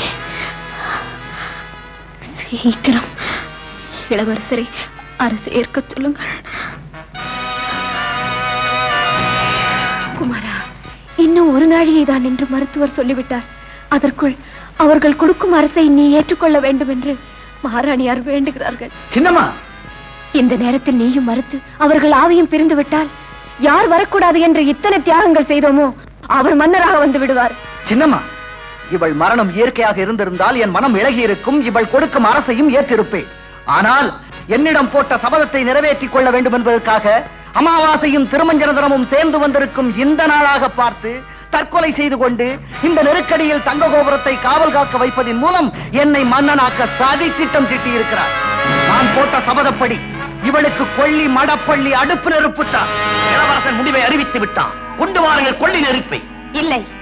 மகாராணியாருக்கு போர்த்தப்பட வேண்டியது புனித புடவைதான். ஆணையிட்டு இருப்பது இளவரசன் அரசையே ஏற்க மறுக்கும் இவனுக்கு ஆணையிடும் அதிகாரம் எங்கிருந்து வந்தது? இவன் ஒரு சாதாரண குடிமகன். தெரிந்து கொள்ளடி தாயே அவன் குடிமகனான மறுகணமே நான் மன்னனாகி விட்டேன் குமாரா ஏன் இருக்கிறாய் இளவரசி மகாராணி அவர்கள் தற்கொலை செய்து கொண்டார்கள் என்று கருதித்தானே அவர்கள் கொடுக்கும் அரசை ஏற்க மறுக்கிறீர்கள்? ஆமாம். அதுவே படுகொலையாக இருந்தால்? சுபத்ரா!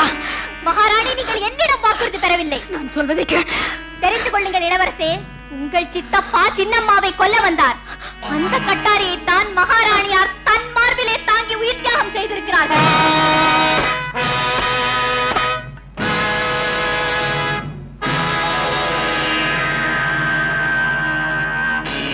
குமாரா சத்தியத்தை தெரிந்து கொண்ட பிறகும் ஏன் சலனமற்று நிற்கிறாய்?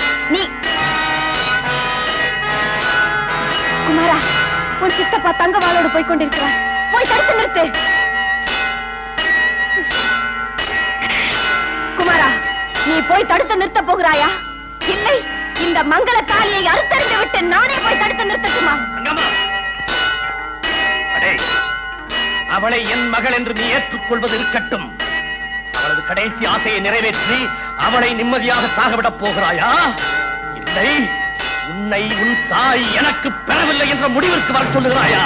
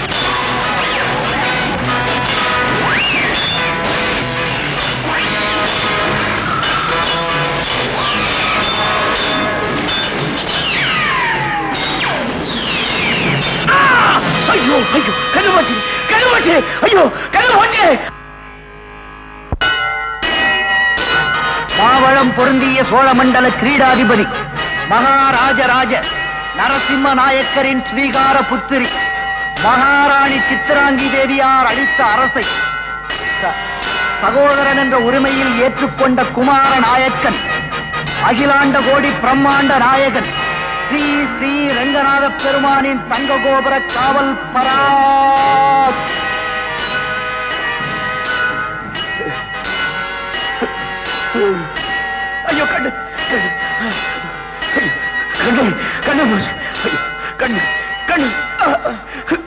Whew.